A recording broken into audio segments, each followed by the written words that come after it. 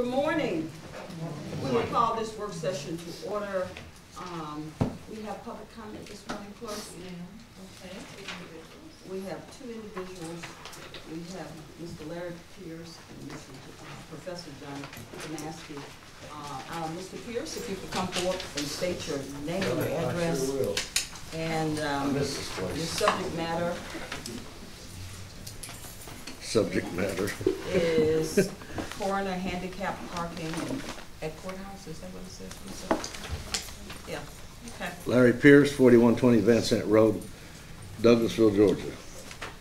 I'm gonna take my hat off today, because I went and got a haircut Saturday, and half the people at Martin's didn't know me. So I said, I wonder if I can pull that off before the commission meeting tomorrow. So, uh, they said, why don't you try it? So I've got a new attitude today. But, but I bet you think that with the new attitude, I'm not gonna talk about somebody and call coroner. Well, you're wrong. Let me tell you why you're wrong.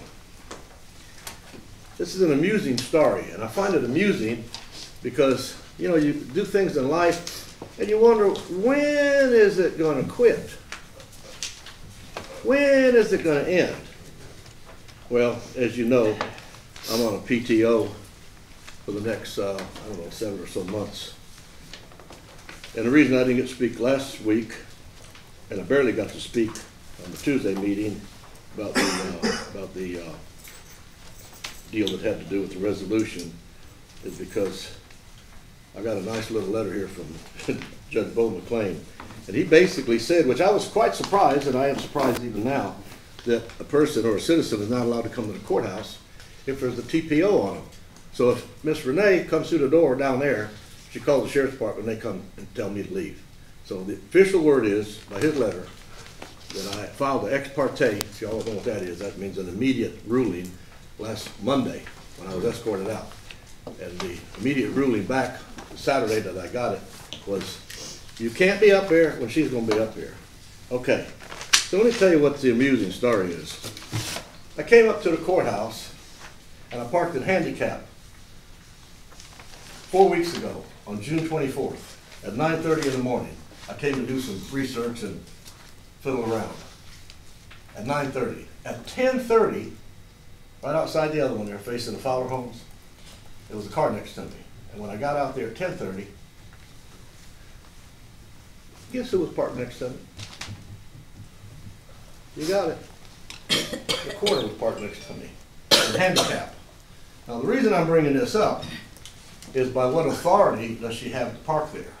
Now, she may have authority, but what I'm concerned about is not the fact of what I just stated, but the fact is, if there is a disability, it reflects upon the county. And I think in the job she holds, you've got to divulge, either in the beginning or the end or whenever this took place. Because she's driving a vehicle that could be a disabled situation with a right leg, which is a gas and brake leg, or some other incident. Now, could this be on the horizon as you come across, could this be something leading to a disability that the county may have to pay for? I don't know.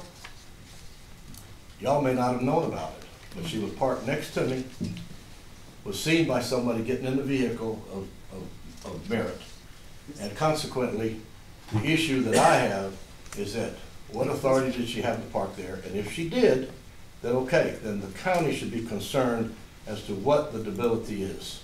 Okay, Thank you. thank you, Mr. Pierce. We Thank you. appreciate your contribution. We'll take this matter under advisement. Last but not least, Mr. John Tomaski, please come forward. State your subject matter. It's very difficult for me to read the subject matter, so if you could just restate your subject matter and give us your address first. Uh, Good morning to all. John Tomaski, 6,000 Stewart Parkway, and I'm speaking uh, on the uh, general subject of District 2. Oh, just- Um, According to uh, recent public information, uh, the, uh, Can you speak up, Mr. Tomaski? according to public information, the sitting member District Two you know, has a challenger in the upcoming election. And um, I think that uh, this is a significant development. I believe the sitting member is really uniquely well qualified to be in that seat. And I also notice that this challenger has come about, perhaps coincidentally, in the wake of Foxhall not having gotten its latest camel through the eye of the needle. It is also uh, a uh, fact reported by local news outlet that uh, Atlanta is the fourth worst city in the United States for gentrification. And given what has been going on in this county for the last few years, gentrification is a big issue. It has been displaced by lesser issues of little consequence, but the issue is still there, spoken or not. And in the upcoming election, it may be a lot more discussed than it has been. Didn't hear much about it in the recent city council race, although District One, in terms of our districts, is an area that's going to be very much affected. Thank you. Thank you so much, uh, Mr. Tomaski, appreciate your contribution, and uh, we'll move on to the next item. I just wanted to, before we go any further, would like to uh, introduce to some and present to others our new Assistant Director of Finance, Sabrina Cockborn. If you could just please come up and just say a few words to the board. Come up there. Go up to the microphone. Grab mics. And congratulations, by the way. Oh, thank you so much. Thank you all for the opportunity. I appreciate Jennifer thinking of me and the board approving. You'll have to excuse me, I'm coming off a little cold, but um, I know I got some big shoes to fill and anything you guys need, please feel free to reach out for, reach out to me, especially I know it's budget time now, so I'm here if y'all need me. Got an open door policy, so y'all just give me a call or stop by. All right. Thank you Thank so you. much. Congratulations. Congratulations.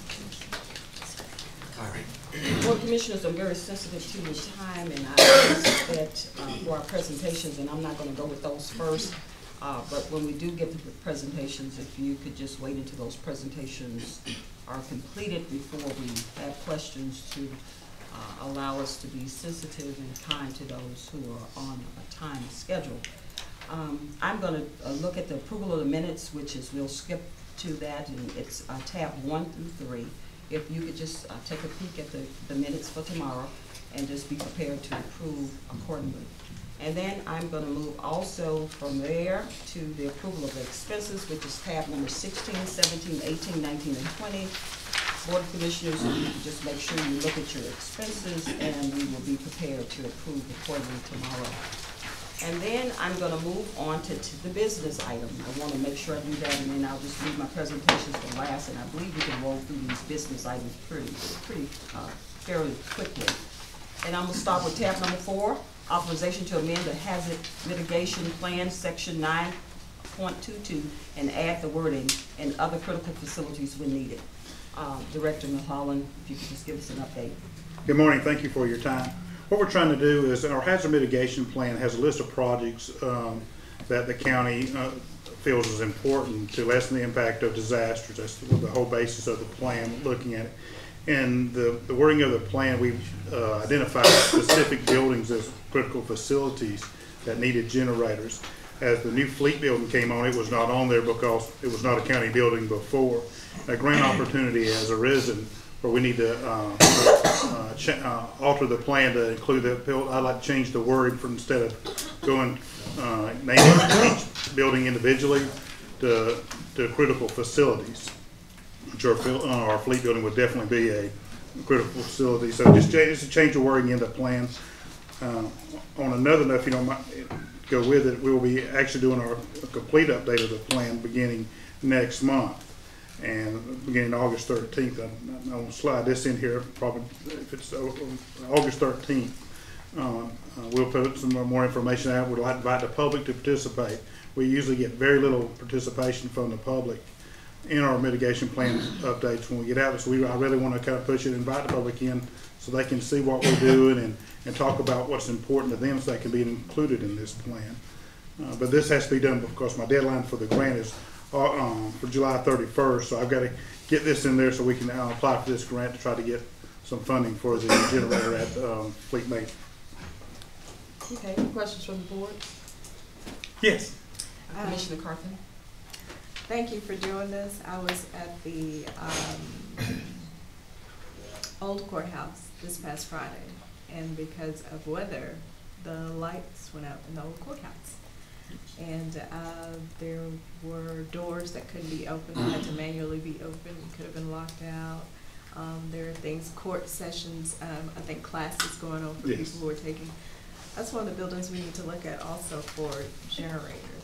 Um, I, I, it, to me, it's important just Yes, because I know that people take time out from their work and their jobs in order to go to these classes that are mandated by the courts. If they, if they have to leave the building, come back, that's another, that's more money, that's, so our citizens deserve to have, um, I think, us, if they're in, if they're in a court, if they're in a Douglas County building, our facilities need to be able to have generators to keep the lights or keep certain things going.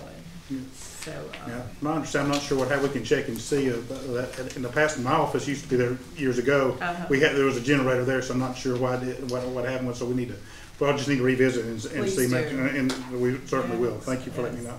yeah, I would appreciate that. But again, I, I appreciate what you're doing. It's definitely needed at the Fleet Building. And, um, I was in class with them and they are very appreciative that this is, is about to happen. So, thank you. I yield my chair. Okay, no.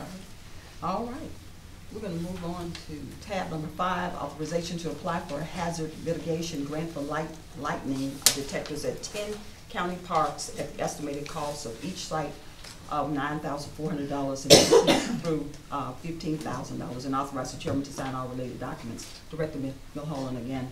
Yes, we, we've been working with, uh, Parks and Rec Department, um, and about, um, we're wanting to get, uh, lightning detectors at the park, so when a lightning storm comes up, they, um, they'll have a notification so they can take the appropriate actions to get the people to safety. So I've been working with the staff of Parks and Rec and, and, uh, Gary to, um, to try to get that information, put the pre-application packet together to send in. It's another one that's due on July the thirty-first, and that one, we're almost completed with the package. I think we're about down, I think we've knocked it down to eight. And the, uh, the, I give you a total of what we, of what we got so far on the, the cost on that one, uh, that grant. This is a 75 25 percent um, grant. So, um, of the, let me get to the, uh, sorry, had it lined up better.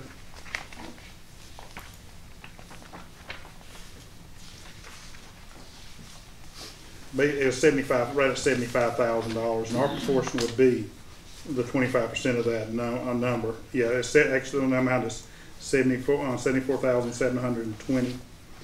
Um, So that, uh, and we got, those eight, eight, uh, parts that we wanna do, and each unit costs nine thousand three hundred forty, uh, dollars. That was the quote we have for that. So, and th- and that, this will go into the state, they'll do a, we're competing against every other county in the, um, in the state for these, so we're, and they do, they particularly like this, uh, I've spoken to the, um, the people who oversee this grant, this is one they're, they're very interested in, but they like any kind of a project, but this one they seem particularly interested in. So I really wanted, uh, we've been spending a lot of time putting this information together to try to, um, get the, um, to get, um, this one right, so we'll be very competitive with our, against our other counties. Okay. And this is for the, this is to get ready for a twenty twenty budget. Yes, this will not be this, it'll take, it'll take, Budget. they- we probably won't get notified till middle, and sometime middle of twenty twenty, if we're approved or not, Okay, it'll be awarded. All right. Could you restate what our match would be? Um, Let's what see, you said? it You was- just said twenty-five percent of the. Well, say, yeah, seventy-four thousand, Okay. twenty-five percent of seventy-four, seven twenty. Okay, thank you. I I believe you have a question, Commissioner Bennett. I see you. Uh, Jason, um, a lightning detector, it detects lightning how far away? It'll go, it'll get, you can go out several miles, but it'll come in, so the seven point four, it'll say lightning detected seven point four miles away. So they'll, they'll come to Parks and Recs, when they get close, within their parameters, they'll say, okay, we've got to shut down to get people inside and get them off the fields. So they'll, um, be better, um, better equipped to make those decisions. So it's, it's detecting the stri- uh, the strikes and a certain, uh, whatever rate parameters you, you send up. It was, uh, on the news that some people were hurt at Clearwater, Florida. Yes. From lightning strikes just this weekend, so. Hmm. But, Um, uh, But, uh, I just wondered how far out, it says de- detector, but how you, far does it? you can go, I can, you can set it all across the country, you can find out what's going on in California, Oh, yeah. with, with the information, it's a net, it goes in a network. But we'll be more concerned, we'll, we'll get the, the data, find out at what point we want to call, um, to, um, to call things off or get people to safety. That'll be a, a thing that the park, uh, Parks and Rec and we'll, we, with the weather service and try to come up with some proper parameters. They can go out twenty miles, but, you know, pretty much your param, you know, actual detector part will go 20, 30 miles out. Well, there's a lot, a lot of rock in Douglas Yes, ma'am. And I think rock actually attracts Yes, ma'am. lightning too, so. Uh, all right, with that, I yield back. Uh, Chairman Robinson, I'll wait Yeah, thank you, thank you, Madam Chair. Um, How many parks do we have? Gary. Fifteen. Fifteen? Um, and with, with outdoor exposure fields and so forth. And how many, um, lightning detectors did we, you said nine or eight, what'd you say? I I think we had, I think that's what we came up with on this, the ones that had the most, I guess the most people, they were the Parks and Recs, I think, is how they, they come up with that. Yeah, most of the eight are, we uh, focused on the athletic complexes where there's a lot of fencing and a lot of light poles and that sort of thing that has a tendency to draw lightning. Uh, Some of the picnic areas and remote, small areas we didn't include in it. uh, But uh, we focused on the larger uh, athletic association parks. Okay. Na- Name the parks, please, for the record. Uh, What we got, uh, we have them listed there, I think. Yeah, I'll, I'll read them all. All right. Deer Lick, Boundary Waters, Lithia, Lithia Springs Park, South, uh, South Sweetwater Road, um, and that's Post Road Park, Coast Road Park, Fair Fair Play, Play. Bill Arp, Bill. Six. I must have Winston. forgot. All right, which one, okay, here we go. Deer Lick, Boundary Waters, Lithia Springs Park, Winston Park, Bill Arp Park, Chestnut Log Park, Post Road Park, Fairplay Park. yeah. All right, so, all right, and so those are considered the largest and most densely um, visited or highly visited, populated area. Um, What about the other um, parks? Is there, and again, I have to ask the question, right? You- You think about the wholeness of, of our entire network. Um, And again, we're thinking this is the highest probability, I get it. Um, But was it a function of cost? that we didn't cover all the parks that have exposure to kids? Or is it just, I mean, what was the determining cutoff factor? I'm just curious. I want to hear this for the record. Why, why we picked, why we didn't come up with a strategy that perhaps did all the parks. Lightning is lightning. My kid in a small park is just as exposed as anybody in a big park. It's okay, I just want to know the answer. I get fencing, I get all those things, but I, I want to know what was the cutoff criteria versus 15, 16 parks versus the eight? And is there, was there a cost, like, well, should the Board of Commissioners consider making sure that every, I mean, okay, the grant only gives you a certain amount of money, okay, I got that, all right. But should we stagger this over time and say, but our goal ultimately is to ensure, if we're gonna put it in one area, should not everybody have the same protection? It's almost like saying we're only gonna have, um, law enforcement on one side of the county versus the other right? It's like we're only gonna protect this side versus that side. So it, it's just something I'm, I'm curious to hear what your response is. I don't have a, I wanna see what your position is, um, on this. Can you weigh in, Gary? Just give me some insight and. Yeah.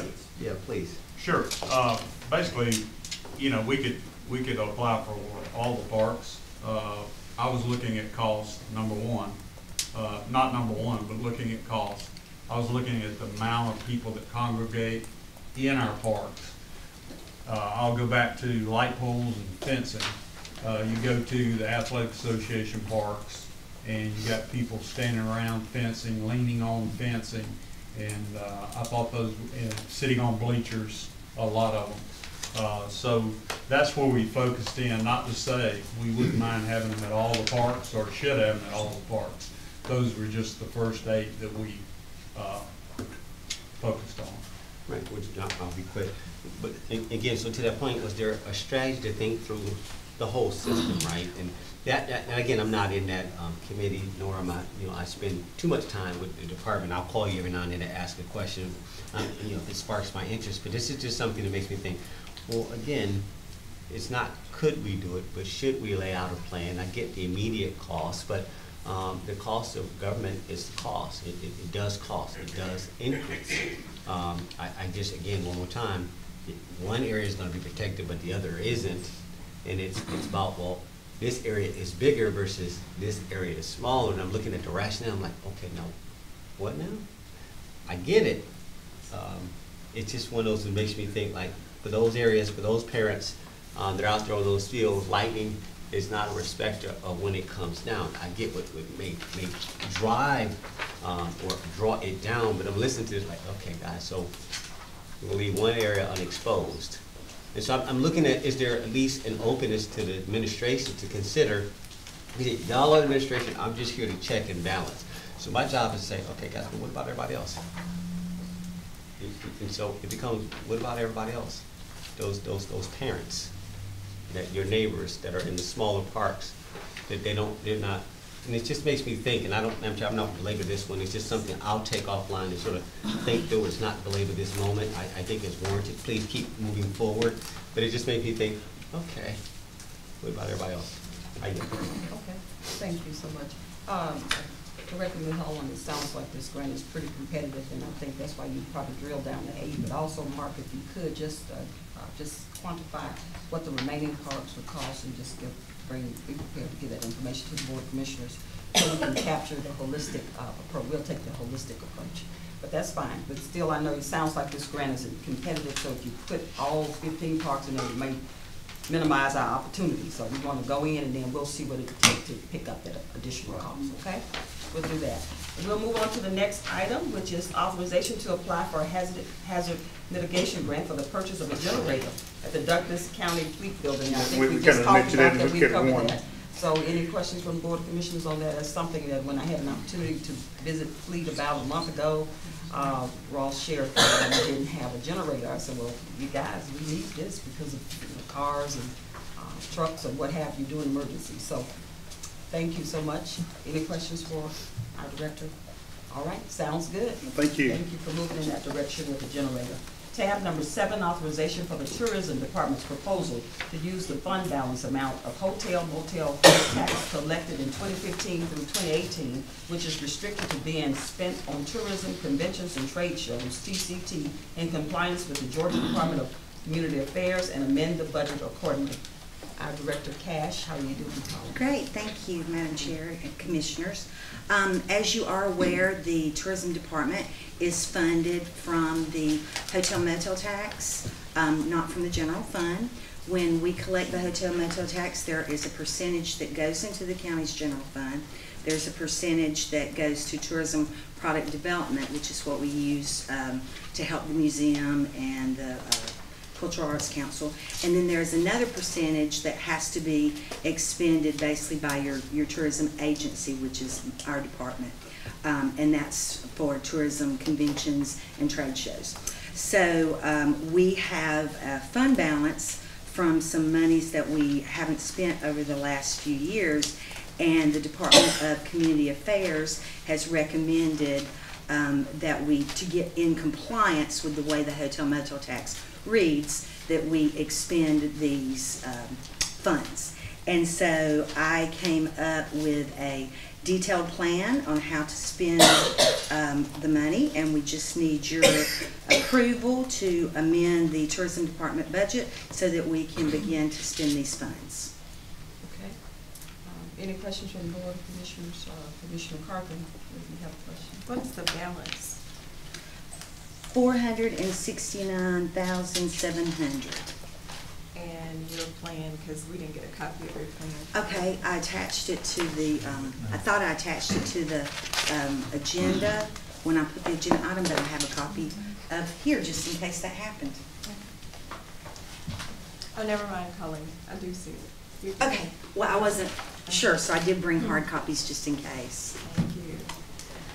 And the four sixty-nine seven, so can you kind of give me some background? Is, is this in relation to you all setting up the nonprofit for the tourism board? Is this in relation to that? No, this is just money that, um, we didn't spend over the last few years because we, we didn't have the, uh, tourism department all fleshed out. Mhm. And DCA, um, they keep an eye on it, but in the last year, they've, they've really, I don't wanna say cracked down because they're not being, you know, mean about it, but they've sent us some gentle reminders that we needed to go back and, in the audit process and found that this money, um, had not been spent exactly where it was supposed to. It was kind of just sitting in the Hadn't fund. been spent all. Yeah, it hadn't Yeah. spent it all. Hadn't been spent, right, so it was just kind of sitting there as we were getting our tourism department and figuring out what we had to do and the five oh one C six and all that.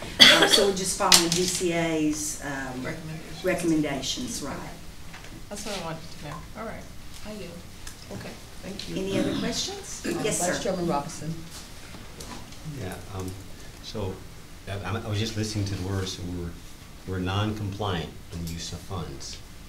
All right, and so, basically, it sounds like DCA is like, okay, so why did you, to me, why are you taxing, why do you have this in place if you don't have use for the funds? I appreciate the fact that now you've got a plan, um, and you put forth, this is not you, but I'm just listening to what's being said, right? Like, all right, we're sitting on half a million dollars in cash right? And that, what you said, two thousand fifteen through two thousand eighteen, was that accurate? Yes, sir. It, it's the aggregate, right? So I need the citizens pay attention, always follow the money. Like, Okay, guys. Right, so, again, here we are, um, this is just to bring us forward, right? This is just spending that cash, right? I understand that. Um, Going forward, this brings us up to par. Going forward, um, will we be in compliance in that we will have a use of funds? That's the first question, ongoing. And then my second question is, um, as relates to hotel motel tax. And Jennifer, this is to you, and I know you provided it. Um, two, two parts, and I'll be done. I yield back to um, Jennifer Hallman, Director Hallman. The second question is, our hotel motel tax is driven by hotel motels. You did a, you did a report for me, I know you did. Um, I just don't have it with me. Who were the top, um, generators? Remember you did that report? Do you remember the amount? Um, I do not, we might be Can you, when you get a chance, you don't have to believe it this moment, Madam Chair wants to keep this going, but can you get all the Board of Commissioners that report Mhm. you provided for me before the end of the day? Sure. And I think it'll be very insightful. I can, I can tell you Okay. that basically, I don't have the exact numbers, but it's gonna be the Hilton Garden Inn, the, um, yeah, the Thornton, the Hilton Garden Inn, uh, the uh, new courtyard in Fairfield, um, possibly the Candlewood Suites, and then the villas at Foxhall. That's what I, get the specifics, but I thought, I, I mean, I think I knew that, but I just wanted to Yeah, hear it. because the other, we have a couple of other hotels that are smaller, and they're also extended stay. And when you get into extended stay hotels, they, after a certain, after a person stays in the hotel a certain amount of time, they no longer have to pay the additional hotel motel tax, because mm-hmm. they're using it as a, as an extended stay. So those few that we have that are extended stay, we don't get a- as much tax from them. All right, can you answer that final question that I asked? What was the final, I'm sorry. Never mind, let it go, I'm, I'm fine. No, no, no, I thought No. you were asking it No, to we're- Jennifer. no, no, Oh, I see, in the future, Yeah. um, we have a better handle now on exactly, uh, what DCA, how they want us to spend this, Yeah. and I'm working closer, uh, with Jennifer. It was kind of an unknown, we had a lot of hotels just pop up and Plus, the- we went from five percent to eight percent. yeah, we went from five percent to eight percent, and then we had the hotels, and then um, they brought me in, and we've been working on it basically since I came full time in sixteen. we've been working on this, I've been working with Mark, I've been working with uh, Jennifer and with legal to get us into compliance. It wasn't just an overnight thing. So from, from here on, we know exactly what we're supposed to be doing and our budget will, will reflect that correctly. It's not so much non-compliance as, as, as much as it was, we had more revenue than we had expenditures at the time. And so we needed to develop a larger budget and Right. think larger scale of what we wanted, or the county wanted to do as far as tourism. It wasn't that we were spending hotel motel funds on things that we shouldn't have been. Right, no, we weren't spending it the wrong way. We wasn't spending enough of it. We weren't spending enough of it, correct. And this was statewide too, it's not. Yeah, they, they did not not pick on just us. Focusing on Douglas County. Everybody, everyone, every city and county entity that collects hotel motel tax got these letters from the Department of Community Affairs. They're just trying to tighten everybody up, because there are other places that are not correctly spending there, but that's not us. We just weren't spending as much. We were packing it away and not spending it all, um, till we kind of saw how many hotels we were gonna have and kind of developed a plan of where we wanted to go. No, and, and I appreciate that, and I'll make my, my, my closing comment.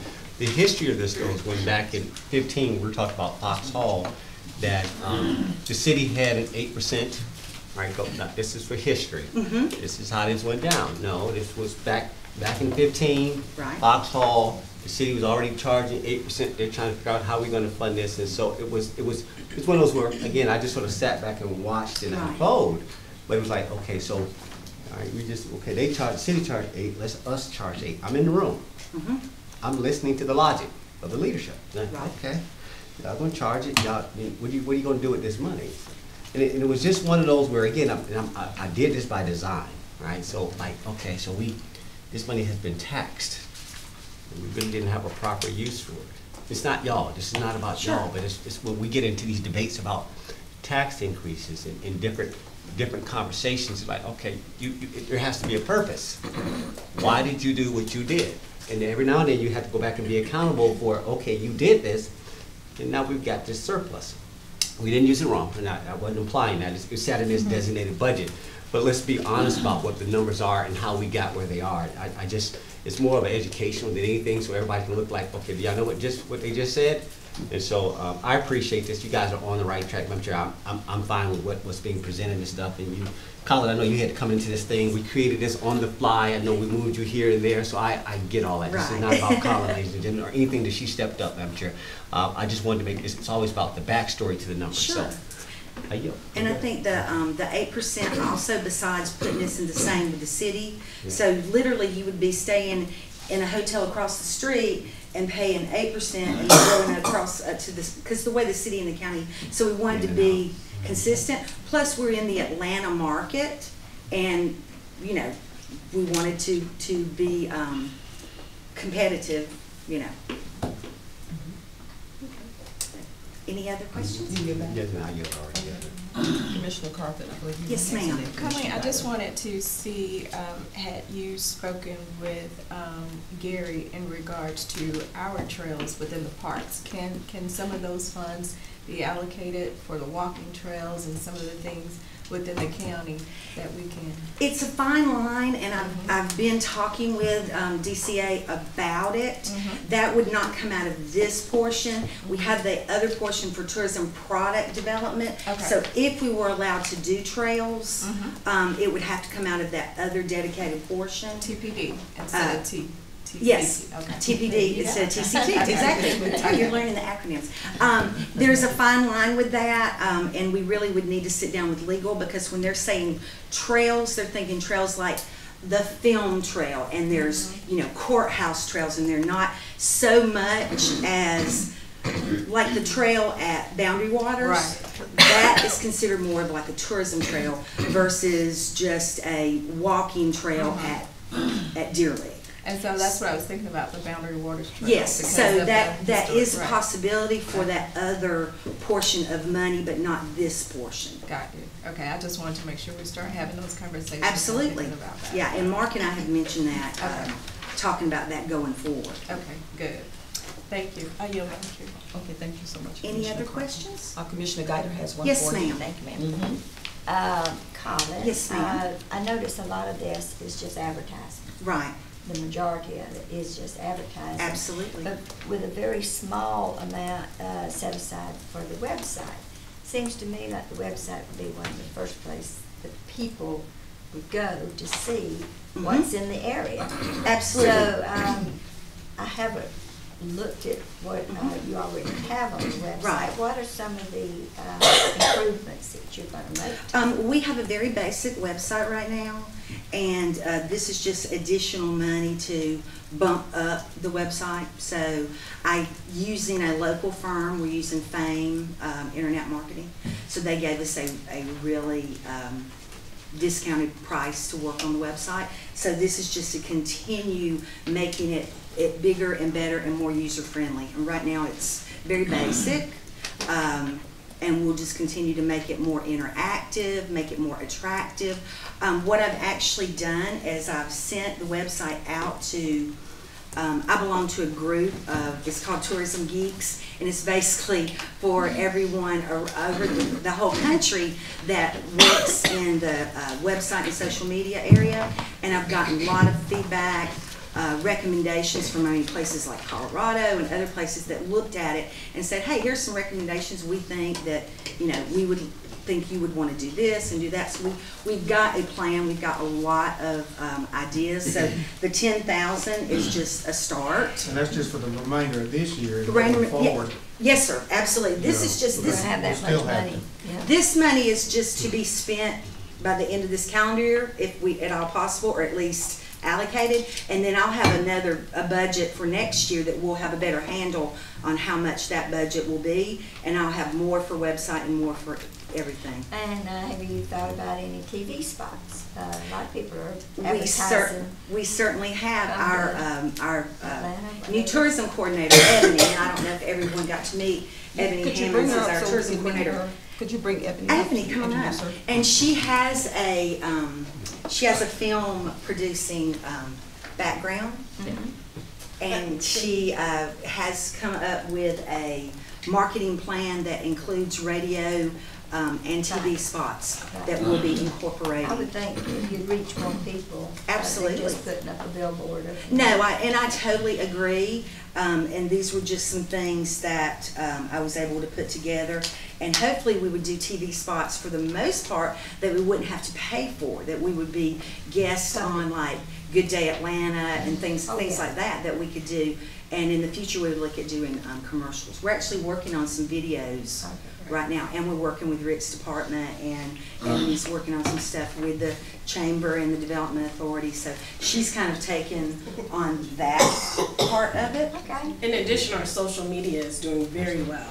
Okay. So that's another place we're doing a lot of outreach. Um, I target um, I-20 back and forth. Anyone who lives off of I-20, yeah, we find Birmingham and the Alabama area really, um, attractive, obviously, because they're coming through to Atlanta anyway. We're trying to pull them off to stay here, um, and then that will increase our hotel motel tax, and then we'll, you know, it's a perpetuating, um, funding source.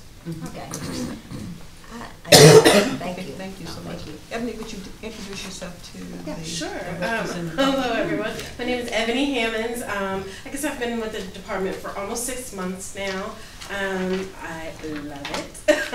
um, I have a background in television production uh, and um, producing news and um, corporate videos and uh, satellite media tours and social media management. Thank you. You're welcome. So glad we could introduce you. Yes, thank you. Thank you so much, Colleen. Okay. We're finished. Thank you very much. All right. Board of Commissioners, um, you may not know, but our carpet at the senior center of Woodie Fite has not been changed in fourteen years, and that's where I host my birthday parties once a month. So I have an opportunity to look down and see what I don't like to see, which is uh, dirt and filth, and certainly uh, talk to our director, Sherry Johnson. Ms. Johnson, if you could come forward about replacing the carpet. So we're gonna move on to the next tab. The tab is number eight, authorization to award a carpet replacement of the Woodie Fite Center to Georgia Floors and Boards, Decon LLC, for a total cost of nineteen thousand nine hundred eighty-eight dollars and fourteen cents, and amend the budget. Where are you, Ms. Johnson? Oh, okay. Oh, okay. I was like, First off, I would sincerely like to thank the commissioners. We have had our painting done, and it looks fantastic. We wanted the painting done before we did the carpet, and one of the qualifications for the carpet bids were that it be tiles, so that when we have a problem, we can take up a carpet tile and replace it with another.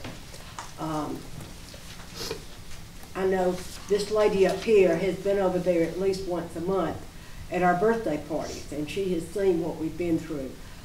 The building had not been painted nor new carpet in thirteen years since the original thing, so it sorely needed. We're updated now, and so we- that's what we're asking for, is that we get this carpet. Okay. Any questions from the board? Vice Chairman Robinson, I believe you have a question. Yeah, I mean, again, I, I appreciate, um, when you, you look, look at the history of the county and, and just where its current status, and I, I do want to at least commend sometimes, I- while I'm always constructive, because that's my job, is to, to- to do those things as a local legislator, um, I, I give credit where credit is due. Um, the fact that it, it, it's taken thirteen years to, to change the seniors carpet. Like, what has been happening for thirteen years? It's the equivalent of what has happened to our roads, right? And all of a sudden, so I, I appreciate the fact that, Madam Chair, that you, you, you, you've taken upon this. It's, it's well overdue. It makes sense. Um, I, I support this hundred percent, because again, one more time, it's like, okay, you haven't painted the place? You haven't maintained the carpet? It's like cutting your grass or, or paving the roads and stuff. So like, what, what has been happened with the last decade and a half? So I'm, I'm encouraged to hear that, and um, um, how long will it take this to get it done? I guess that's my question, for them to be able to realize they're, you know, a- a better, Hopefully, we can get this done in a week, that fast. in a week's time, right. The whole building. And both of these items, both the painting and the carpet, have been in the budget at VIRs for a number of years. And we, it It was was- actually in the one last year, and that's why, why I think what prompted this. Right, it just was never a priority. I, I, I stand one hundred percent. I yield, Madam Chair. Okay, thank you. Any other questions? All right, thank you, um, Director Johnson. And then we have also uh, Dr. Gilchrist with us, who is also the Director of Senior Services on Fairburn. And she actually, we got some, some things going in the works for her, so I'm quite sure you'll be coming before, before us real soon. Wanted to spruce that area up too. I had an opportunity to spend Christmas with the seniors there and said, couldn't keep my eyes off the blinds and the floors, and I said, maybe I need to go into interior design or something, because I'm always decorating. Those items are already in the system. So that's, in the system. okay, So so we have the PO for the um, painting. oh, you do the PO and the painting for? Yes, sir. Okay, thank you. They're getting good. quotes, they're working with property management on getting quotes on the blinds, and they're, we're gonna install those, so Good All right, stuff. we're thank working you. on those too. Okay, thank you so much. Next, we'll move to tab number nine. Authorization to approve a memorandum agreement with the Atlanta Regional Commission, ARC, for the recently awarded Community Development Assistance Program, CD, I call it CDAP, to update our Unified Development Code and authorize the chairman to sign all related documents. Director Roberts. Thank you, Madam Chair, Commissioners. So this before you is uh, the next step in a process that began back in January when I came before the Board of Commissioners to talk about the application for the CDAP, grant, Community Development Assistance Program. And it was at that time identified in, that I had uh, some money in my budget that we, we could reallocate for a match, it's 80-20 match to pursue this. Um, the grant was submitted. In May, we found out that there were, there were actually 49 applications throughout the region. 18 communities were selected. Douglas was one of them. And now we will be moving forward with an agreement to start the process, which will take probably about 12 to 15 months. We've only had one meeting with ARC staff at this point to discuss really what our scope is going to be and what we're going to be doing uh, to update and look at a zoning audit and an update of our Unified Development Code. And that's what this agreement is today. Okay. Any questions for Self, pretty self-explanatory. Thank you so much. Thank you. All right, tab tab number ten, authorization to enter into a service agreement with Verizon Wireless to provide wireless connectivity to the fire department apparatus as recommended by the Fire and EMS Committee and authorize the chairman to sign all related documents pending final legal review. Chief Spencer. Yes, ma'am. Uh, This is our final uh, piece of the puzzle we need to get internet access on all of our fire trucks so that when 911 dispatches a truck out, they can send all that information straight to the fire truck. We'll know where our hydrants are at. We'll know any pre-plans that may have been done on that building. We'll know the entry points, the exit points, all, where all critical hookups for gas, electrical, uh, water are in that building. Uh, So this is uh, part of a project we've been working on for several years now. And uh, the uh, funds for this were approved in the budget, so we're just, since there's a contract, we need to bring it before the board to get it signed. Okay, any questions from the board?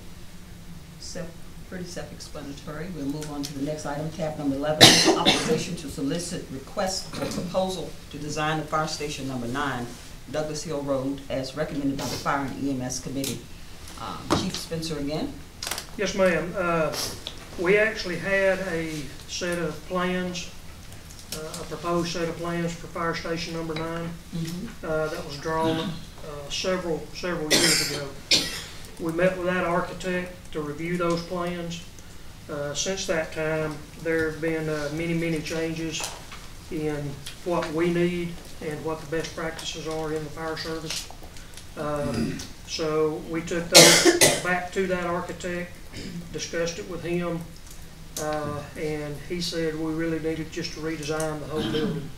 So, And it wasn't a complete set. no, it was not a complete set, this was just basically a, a, a basic floor plan. So, uh, what we're asking for now is, uh, to get the Station Nine project, uh, started. Uh, we need to do a, uh, request to, des- uh, request for proposal to design, to design that station for us. Okay. Um, Vice Chairman Robinson, I believe you have a question for Chief. Good morning, Chief. Good morning, sir. Um, All right, so you know, this is something that's been sitting out there for quite some time. And and, you know, when I came on board, I think it was always on uh, the prior county administrator's list uh, that we knew that the the Thornton Road area um, at that time uh, wanted uh, support for, from fire. We used a lot of what mutual aid for the most part, and coming down, you know, um, Riverside, etc. Um, Obviously, since then, that whole commercial area has really blossomed, uh, really blew up. A lot of um, commercial and industrial, so it- it's it's very warranted. Um, So the question becomes, what, this, we asked this question this morning in our briefing with with our SPLOST uh, members, but what grew in scope? What- what- Why do we have to do the redesign? That's the first question. What What grew? Why did, why wasn't it sufficient? What do we, It didn't necessarily grow. Okay. Uh, Like I said, there's been a lot of best practices that we've adopted. yep, Uh, Number one, cancer prevention. Uh, The old station didn't have a separate area for our turnout gear. okay, Uh, uh, The original station was not designed with exhaust system uh, to remove the diesel fumes as they come in. okay, Um, And it's just a larger, a little larger station because of the equipment we're gonna be putting in it. okay.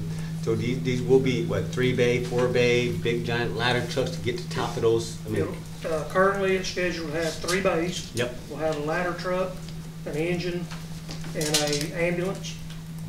Uh, Depending on how our budget requests go, uh, we'll probably put a a, uh, battalion chief in that station as well.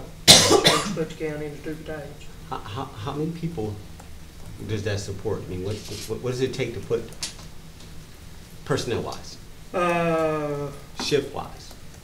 I mean, I don't, I'm, I'm trying to get the order of magnitude in my mind, what are you uh, saying? You're talking nine to 10 at that station per shift, so 30 people. Okay, now ten, now, this morning I heard fifteen, so tha- that's why I ask these questions, because I, when I get inconsistency, I'm like, okay, you don't do me that way.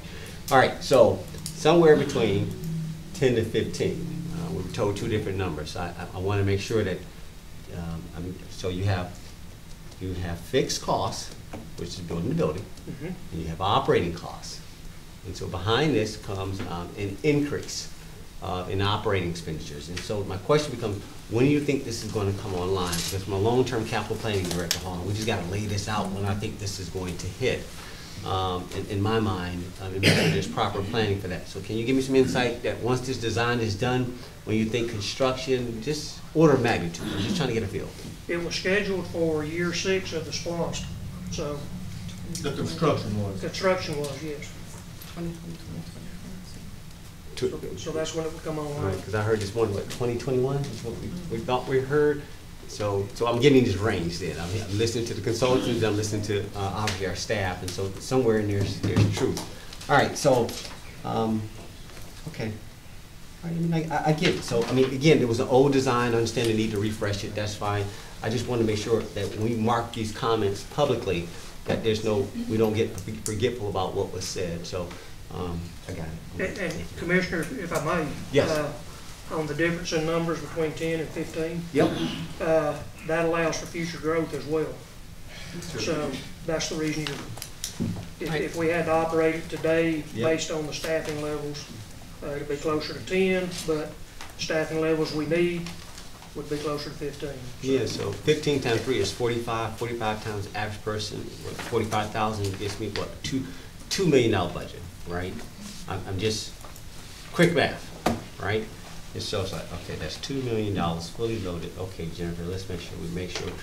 I, I get you, what you have to do, uh, to sort of, uh, introduce this into the atmosphere, but at the same point, it's my job to make sure like, okay, let's make sure we get this on the list and so we can properly plan how we scale this in light of two other buildings that are coming online before it, right? That, like, okay, you can't go and spend fixed costs and then sit here with empty buildings. So that means you've got to plan for this. And that, that's the part where, okay, guys, this is coming online. So Jennifer, we, we'll talk about this later. How do we spread this out? How do we set expectations for the public? How do we make sure that we're able to accommodate something? Because while staff is doing what they're doing, they just going, it's like, but okay, at some point, they're gonna be looking for us to, to, how do we, we deal with that? Um, and obviously, we know, um, I'm just gonna leave it at that. I yield now. Okay. Um, Commissioner Guy. Yes, um, and Scott, we did talk about this at the, the meeting, that we're gonna give the designer or the architect, um, a budget to come in by, because it's very important that we stay within our budget.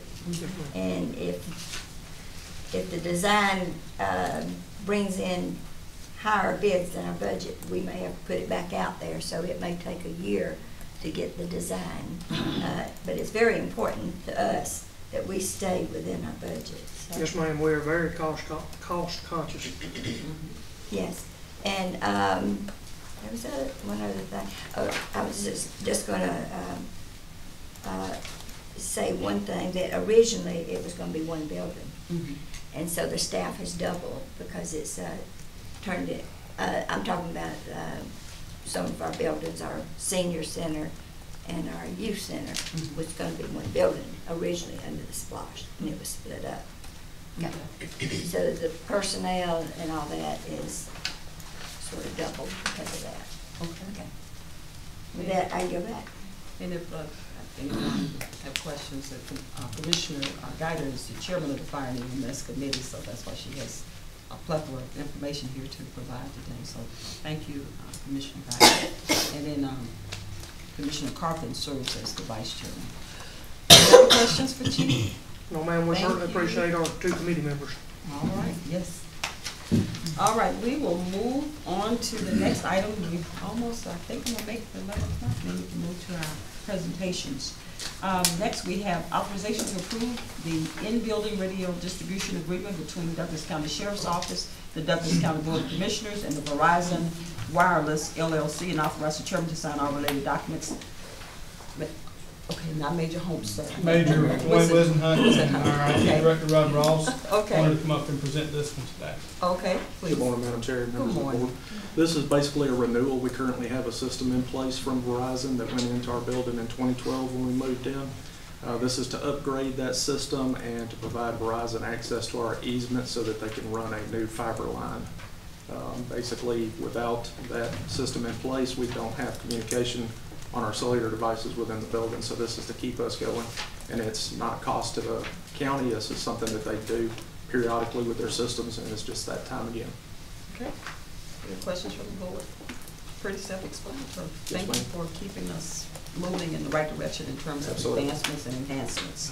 All right, we'll move to tab number 13, authorization to approve change order number five in the amount of $1,153.31 for the Boundary Waters Concession Stand SPLOST project to be funded through the twenty sixteen SPLOST funds as recommended by the Parks and Recreation Oversight Committee and authorize the chairman to sign all related documents. Director Dukes. Yes, ma'am. Uh, This is a change order that was to meet, uh, per the fire marshal, uh, safety change order, and uh, it was, as you said, recommended by the Parks and Recreation Committee.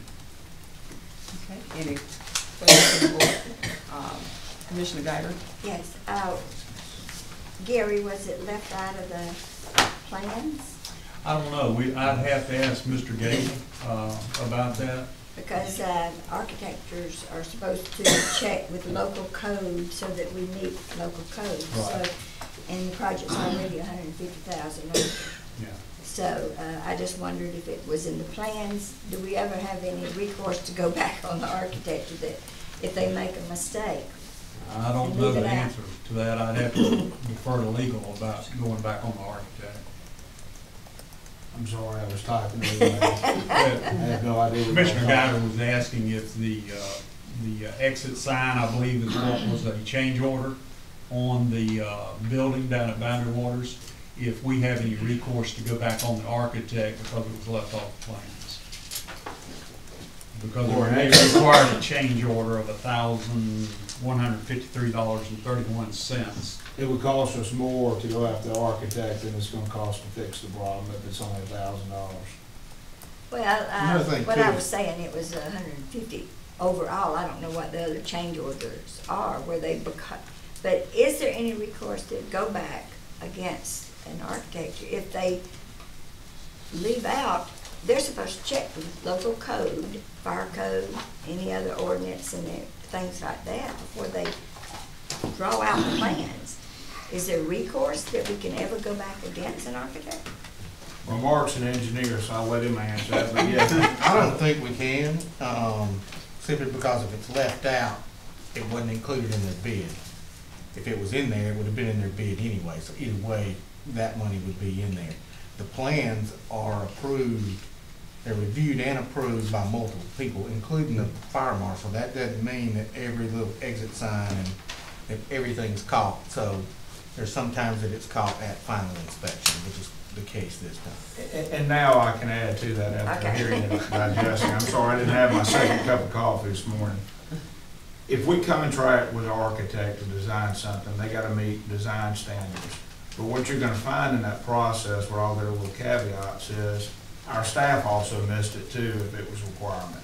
Because it's been run, the, the project has been run through us if we have a requirement as well. And my guess is, there's back and forth between the architect and staff, and I don't know that in this case, may have not happened. But if it's just a thousand dollar change order, that pursuit is, is not worth it. I was talking in general too, Well, other, yeah. other cases. Well, I mean, we've had other cases. We had an HVAC system that was missing from the hallway in the jail that we went back and got remedies on. So yes, you- the answer generally is yes. Mm-hmm. Whether it's applicable to this circumstance or not is, a- I'd have to take a look at it.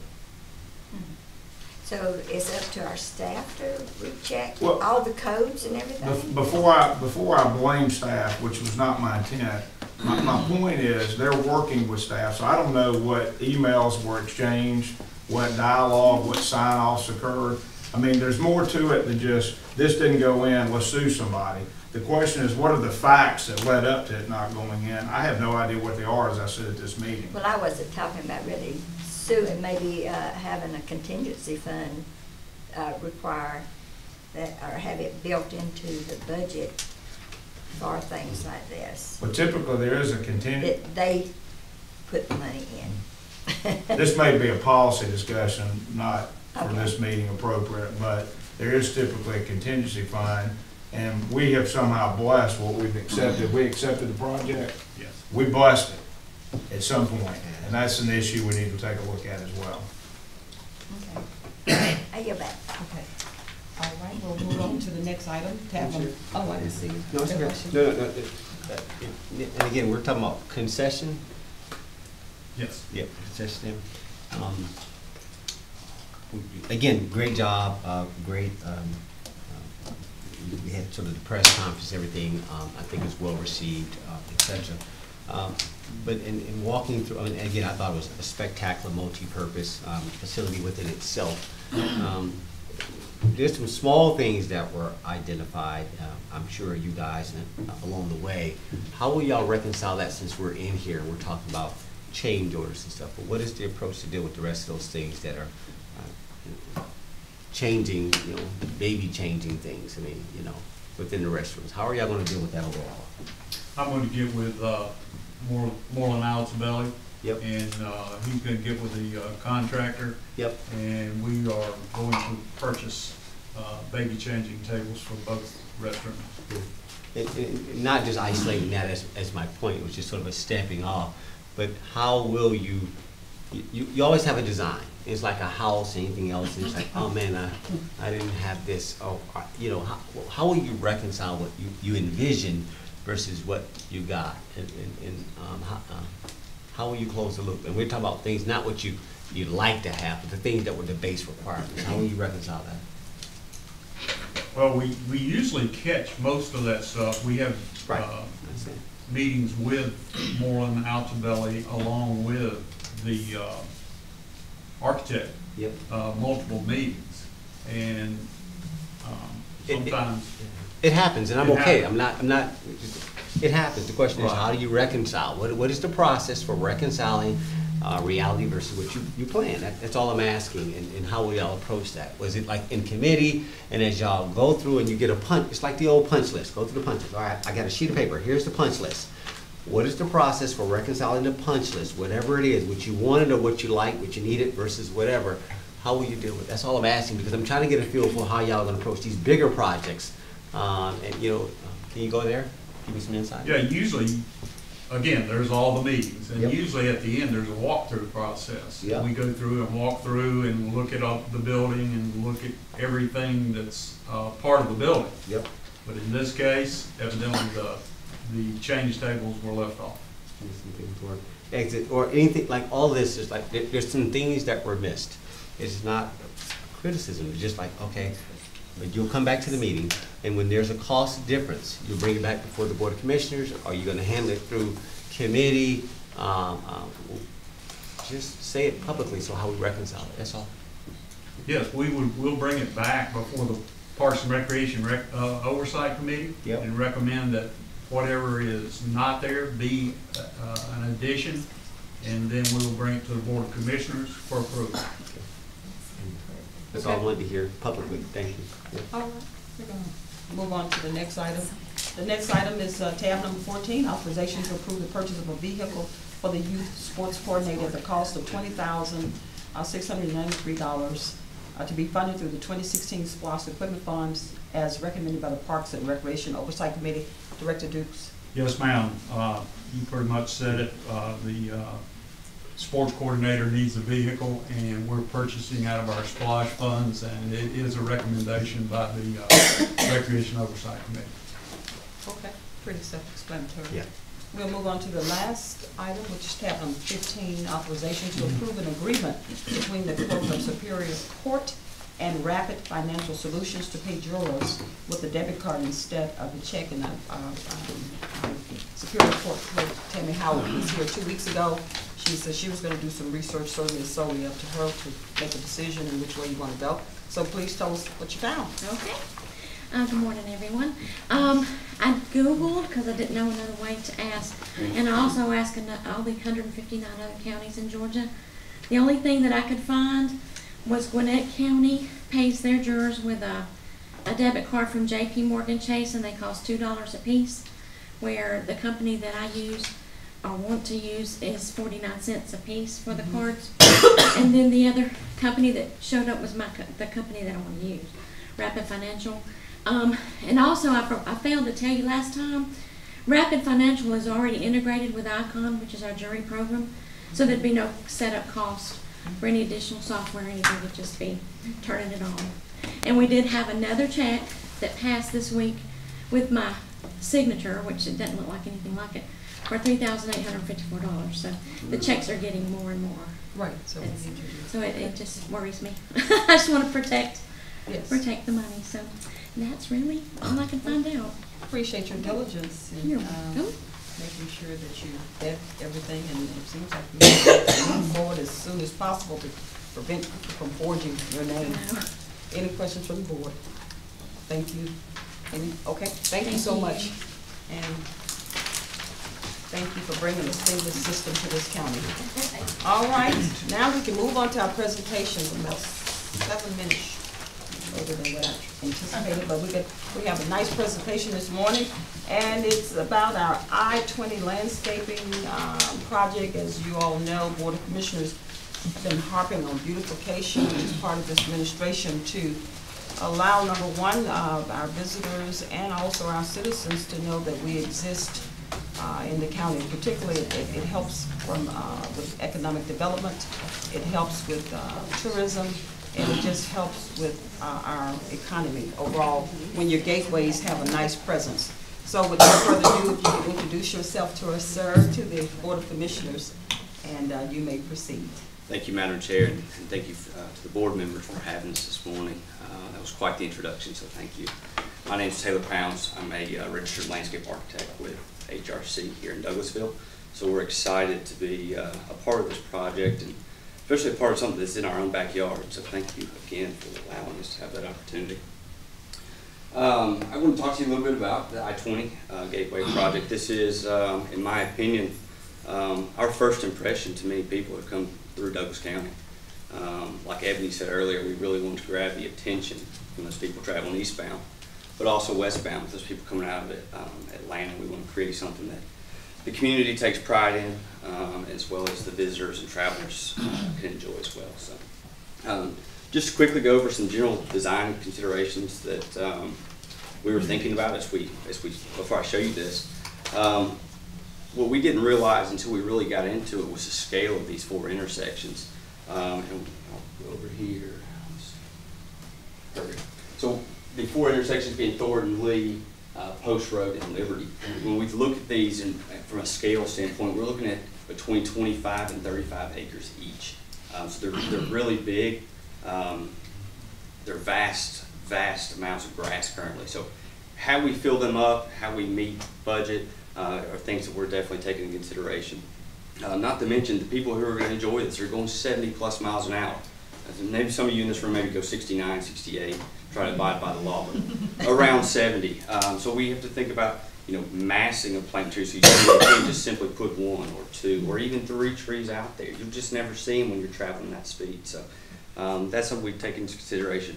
Um, variety, you know, we we have too little variety of or one type of plant material, then you're going to have monotony. Uh, too much, you might have confusion. You might miss it. There's you only have so much time to, to see this. So, uh, color, four seasons. We want we want this to be uh, beautiful for four uh, all year round. Um, and then the environment. Um, we know out here we're we're exposed to the elements 24 hours a day, seven days a week, no matter what time of year. So we need plant material that can survive, something that uh, is sustainable, something that's um, environmentally friendly. Uh, so on top of that, we also balance form, repetition, all this stuff that creates this overall composition that um, it, it makes this project make sense, and it makes our landscape look good, it makes it appealing to the people who are going to enjoy it.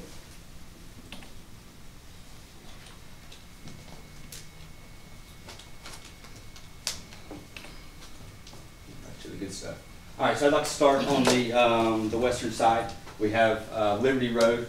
This is our uh, gateway to those, our friends in Alabama or anybody who's uh, on the western side of the state. Um, right now, as you can see, we have some existing crepe myrtles, a little bit of vegetation over here on the um, southeastern quadrant, but really it's a it's pretty much an open canvas. Um, so again, how do we how do we want to say welcome to Douglas County from the east side? So what we're proposing is um, a, a very rural-like setting. Um, it's a mixture of grasses, perennials, some evergreen and hardwood, uh, or evergreen and deciduous trees. We are uh, proposing a gateway sign here built into this existing slope that exists out there. We kind of want this sign to kind of grow out of a meadow-like setting. Um, on this side of the county, we are more rural, uh, so we want to embrace it. We're not going to try to run and hide from it. We're going to embrace it um, and decorate it. We're going to have lots of color.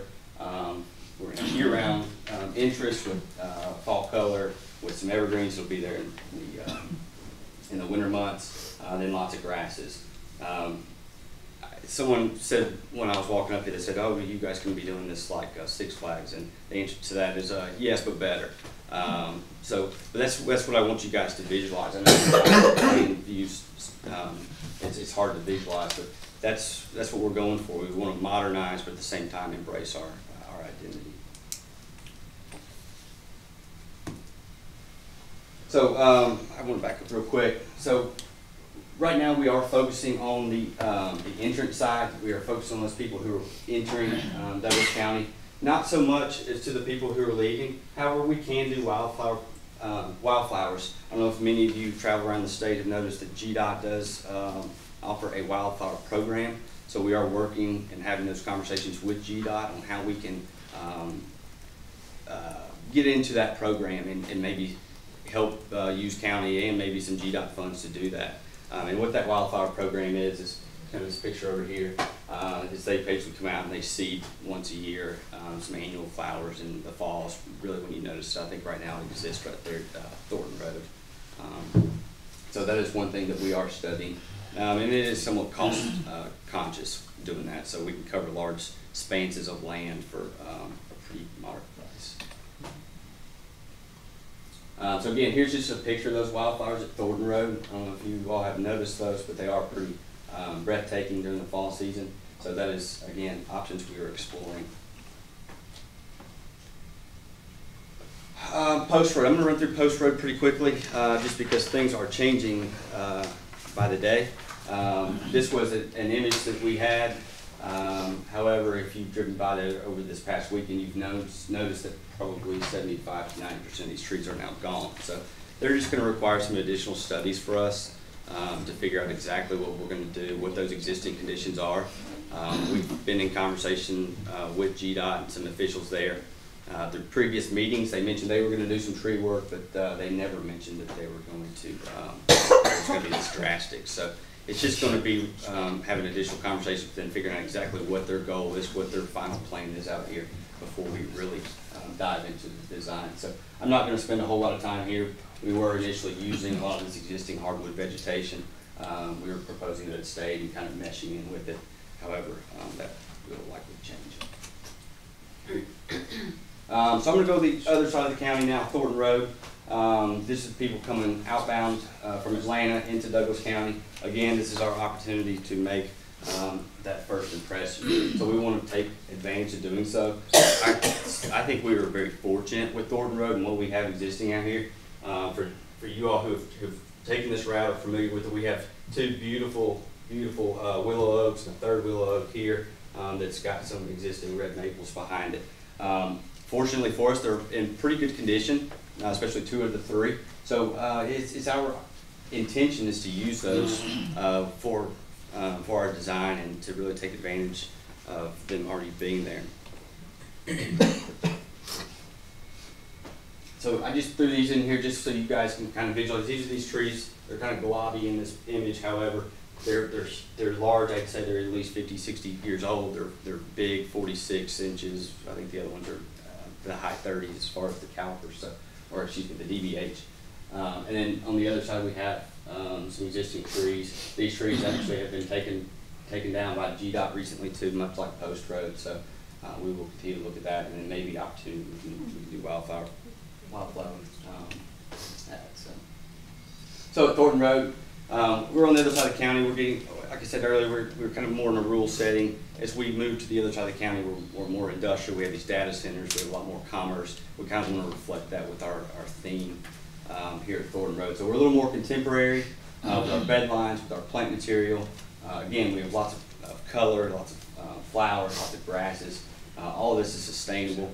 Um, and it's something that we will get uh, repetitive use with every year without having to go in and replant um, every year. So So we're starting out with uh, low, low-growing perennials, we'll work up to some grasses. Like I said, we're gonna really take advantage of these nice trees that we have here, and we're gonna kind of use these bed lines to push us to another gateway sign, whether it's that says welcome to Douglas County or welcome to outside the lines, however uh, we want to work with that. And I know we've had conversations with Mark and uh, getting on a sign company there that we can work with, and we'll have those conversations, so.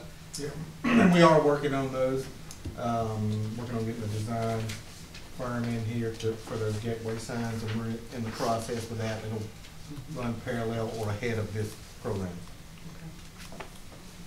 Um, so I'm gonna slow down here, I think I've kind of skipped over a little bit, but one thing I do want to mention, with all this plant material that we are, um, we are trying to use native plant material when able.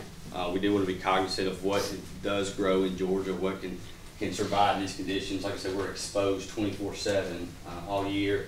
Uh, we're not gonna have any irrigation, so the key is to get these plants in the ground, plants that once they do root in, they can thrive in this hot, arid, uh, dry uh, environment. That is one thing that we have to take into consideration with all of these plants we're using. So the majority of this is native stuff you can find out in Georgia uh, if you were walking through the woods. Um, or, um, or really pastures, prairie, uh, meadows, anywhere. So uh, I definitely wanted to uh, make note of that. So Lee Road, uh, many of you familiar with that this was rebuilt um, within the last few years. This new overpass, new um, on and off ramps. Um, so it is really a blank slate. Um, so we really get to uh, do as we please. Uh, now we do want to work with the existing slopes. We don't want to have to go out there and, and spend our dollars, uh, not on plant material, but grading. We want to avoid that. So we really want our dollars uh, to be spent there. Um, so we're, we I'm really excited about the design here. What we have here at, um, at Lee Road is Sweetwater Park. Uh, Sweetwater State Park, the uh, busiest park in the state of Georgia. So we wanted to reflect that in our design. Uh, so what we've done is we've mimicked our interpretation of a creek into vegetation here uh, with low-growing junipers and surrounded with flowering plants, with grasses, with um, lowland uh, bog-like uh, trees. And we really wanted, when you drove past it, we wanted you to think of uh, Sweetwater State Park. And uh, that's what that's the story we're telling here. Uh, we're doing it on all four quadrants. You've probably noticed we hadn't done that on any of them, but that's how large of an impact we feel that Sweetwater State Park has, not only on Georgia, but also Douglas County, and it's one of our big tourism um, areas. So we felt like this was important. This was, it was really money well spent by maybe going above and beyond here. Uh, so I mentioned the Juniper um, Creek that went through there. This was just a picture of the Juniper just for uh, visuals. Uh, and then we threw in some signs of things that we found um, around the state of Georgia and also around the country, uh, things that we just really wanted to, to start that conversation on things that we could do to help visualize. And that's all I have, so I will open up the floor for questions. Okay. Uh, Board of Commissioners, as you're aware also that this, the mayor is definitely working with her team to, um, address the Fairburn Road, uh, gateway as well. So That's, uh, underway is my understanding, so we are trying to work with them just somewhat, just to make sure that we are uniformed, but not completely. Also, uh, Mark, if you could just share with the Board of Commissioners where these dollars are coming from, because it's not coming from the general fund, just let them know where these dollars will be coming from, so there's any impact. So we have a tree fund that developers pay into, uh, in cases where they can't meet our, um, code requirements, um, for tree save areas or tree plantings. And so right now, I think we have a little bit less than nine hundred thousand in that account. And that's what we're planning to use. And possible hotel hotel, some portion of the. For the gateway signs. Yeah, for Yes, gateway. for the, I'm Yeah. sorry, yes, for the gateway sign. Mhm. Commissioner Guider, say your hand. Yes, I was gonna suggest that, uh, could we not use part of the hotel We motel tax because it, I heard tourism several times in here. And also, have you contacted the city of Villa Rica about the Liberty Road? Because that is part of their, that's, their city limits goes across the interstate. No, we have not contacted the city I would Rica regarding suggest you do so because uh, they, they're very cooperative with uh, us. They're, they're gonna help pay s- for some lights right there at the loop and everything. And all we had to do was call them. if, if it was that easy, then it will, uh, it'll be at the top of my list today. I have discussed it with the city manager, so he knows we're developing this. We, as soon as we get further along in the project and have some cost estimates, we will have those conversations with Seville with it. Okay, But yes, they are aware of it. okay, and I was gonna just stress that we need to do, uh, drought tolerant plants, uh, that are, uh, you know, from this area and everything, so that we don't lose the plants, have to replace them, lose the plants. And when you're laying these out, now, will we have to take over the maintenance of these, um, areas, the thirty-five acres that you're talking about, So we're- we do this? That's a good question. Um, so we're in conversations with GDOT on how that will take place. I do know that w- the areas that we do improve, we, it is our understanding at this point that we will have to take over the But will we maintenance of have to those. cut the area, uh, Um, where right now the state cuts it?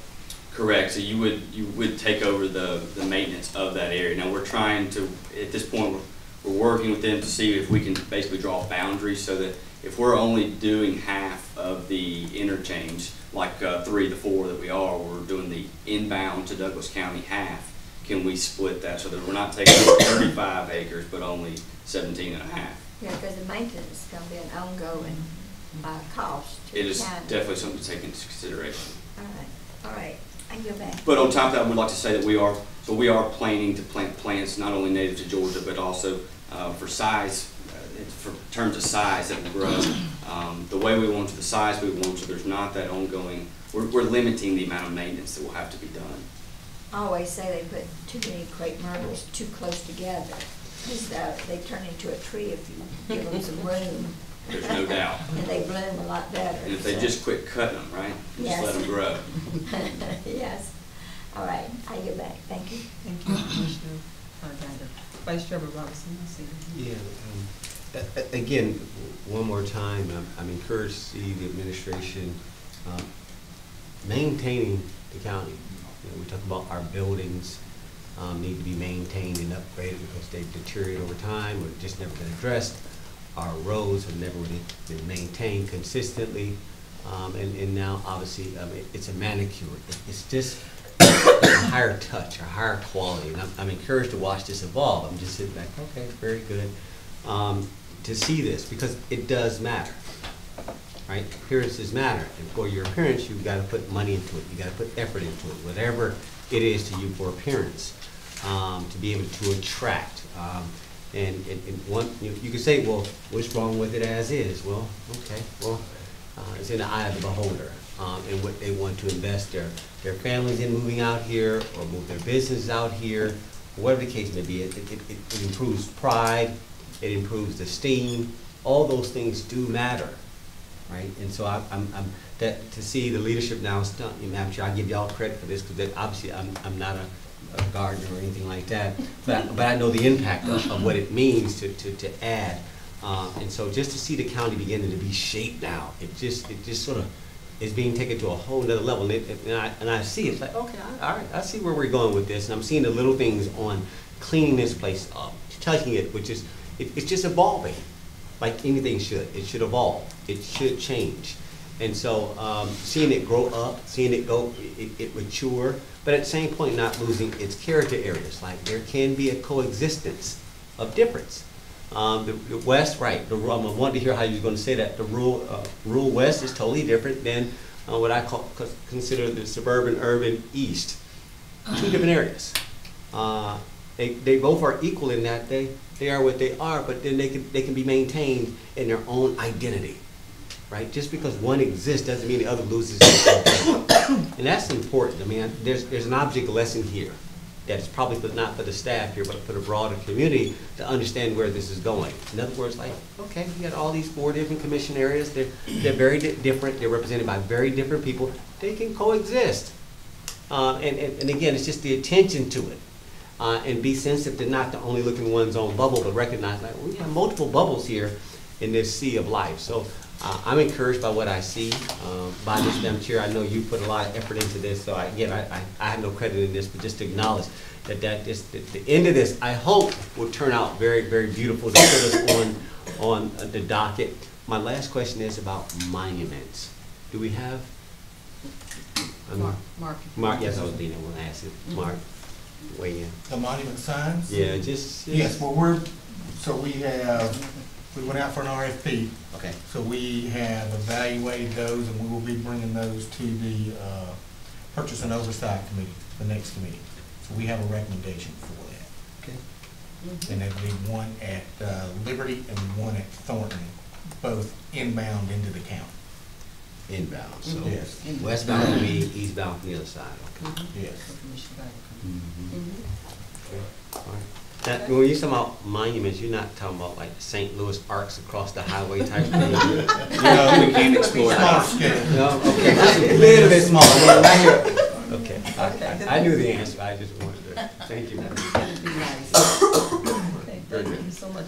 And if we could, uh, Mark, if we could just share with the Board of Commissioners, uh, why, uh, Highway five is not on here in Chapel Hill. Chapel Hill, I believe, is a diamond diversion plan, but I noticed trees are being cut up Chapel Hill. I don't know what's going on. Yeah, well, they're being cut all over, up and down the interstate on all those. And I think it's part of the, you know, Georgia DOT had told us they were gonna start They gonna trimming cut some of the down. trees, but yeah, we didn't They cut realize it was to down. this scale. So we're trying to figure out exactly It's a- how much more will be cut. So we're in the process of figuring that out.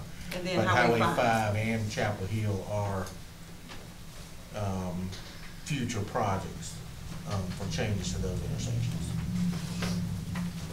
Yeah. Future GDOT projects. Yeah, GDOT projects, so we thought if we go out there and do something to those, it's just, they're gonna have to tear them up, those, uh, projects. Mhm. And so that's the reason why we have, we just And then now. Road is, the city's working. The city's doing that one. Yes, ma'am. So just wanna make it for the record, because it's, I said, why not Highway five? It's getting ready to be a project, and then same thing with Chapel Hill, because you know I wanted all of them done. But Mark, of course, is an engineer, he's a chairman, he's just gonna tear it up. I said, oh, we don't wanna put all our hard work in them, and they have to, you know, tear everything down. So just be patient with us, we are coming back to those, we're not gonna, uh, put a death ear on them, but we just can't address them right now because GDOT work is planned for the future. All right, thank you so much, great presentation. Yep. Uh, I Thank you, Madam The Board Chair. of Commissioners would like this, I just, uh, thank you for giving me a sneak preview the other day, myself and Mark. All right, we'll move to SPLOST. Mr. Terry Gable is, is Terry's not here today. I'll be filling in for him. Okay, well, I'm excited, and and I'm excited, so when you uh, approach our parks and recreations, there's a couple of parks that I want to, I have questions about. Uh, I believe that I want to talk about some funding for these parks, which is Bill Arp. Uh, I want to look at uh, Fair Play, and then also uh, Deer Lick. I I understand, I've just been seeing some stuff run around, and I'm certainly not allergic to Facebook, but I saw some stuff that said we're running out of funding, and I need just some explanation if you can help me with that. Okay, I- I'll try. Okay.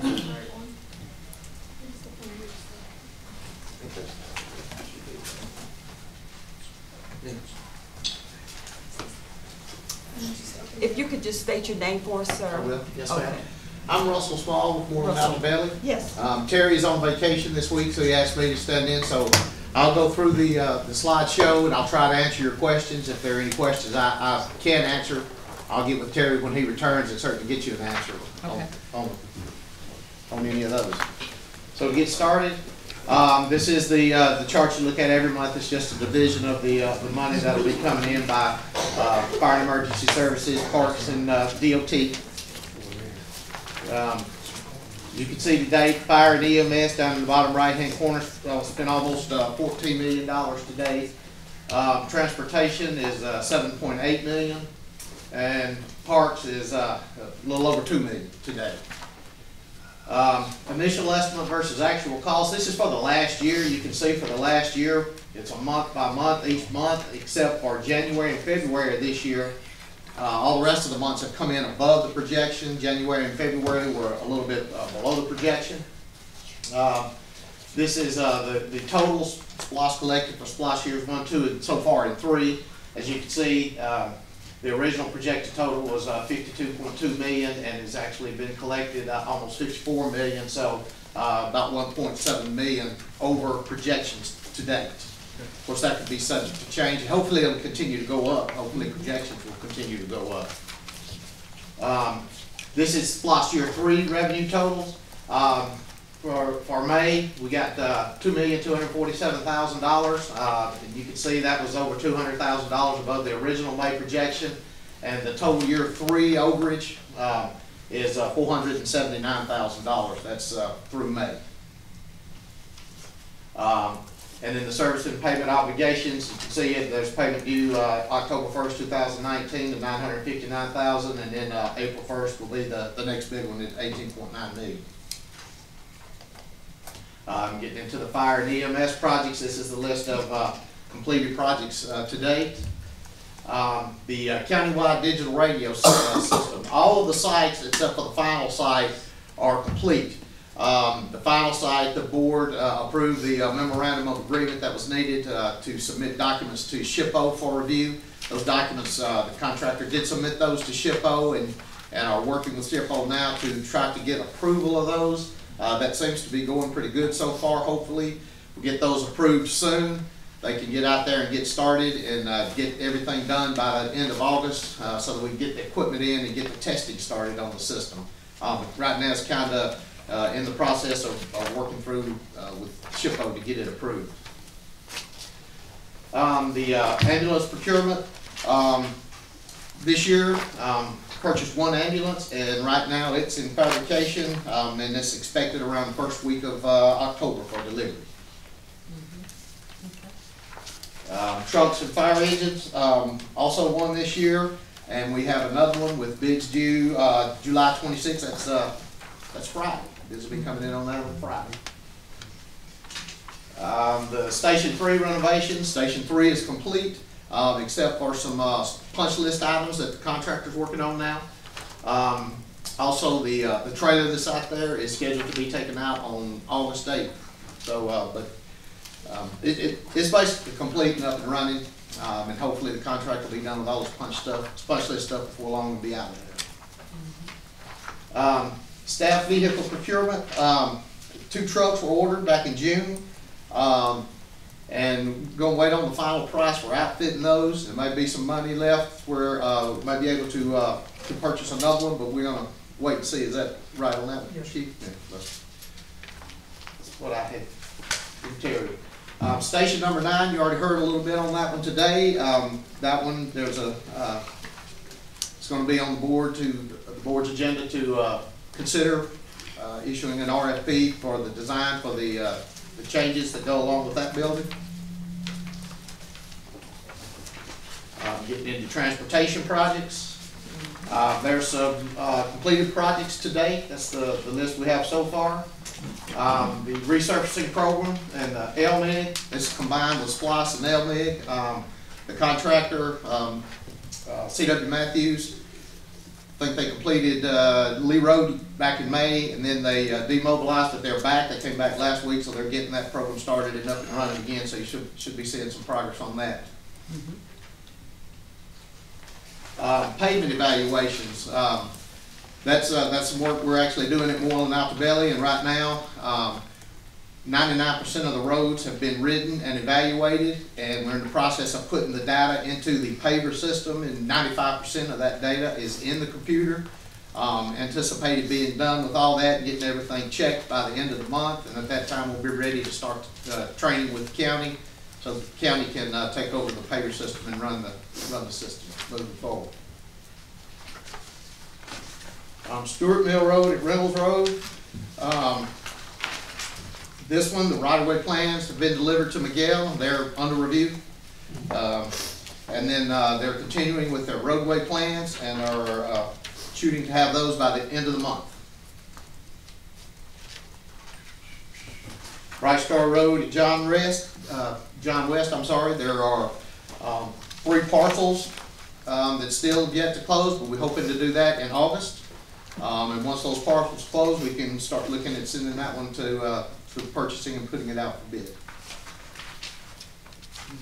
Um, Sweetwater Church at uh, Doris Road, that project is gonna advertise for bid starting, uh, the twenty-second. Um, what's that, tomorrow? Starting tomorrow. Alright, and then, uh, Chapel Hill Road intersections, um, this one, um, there's, uh, a lot of parcels to get on this one, over thirty parcels, uh, maybe forty.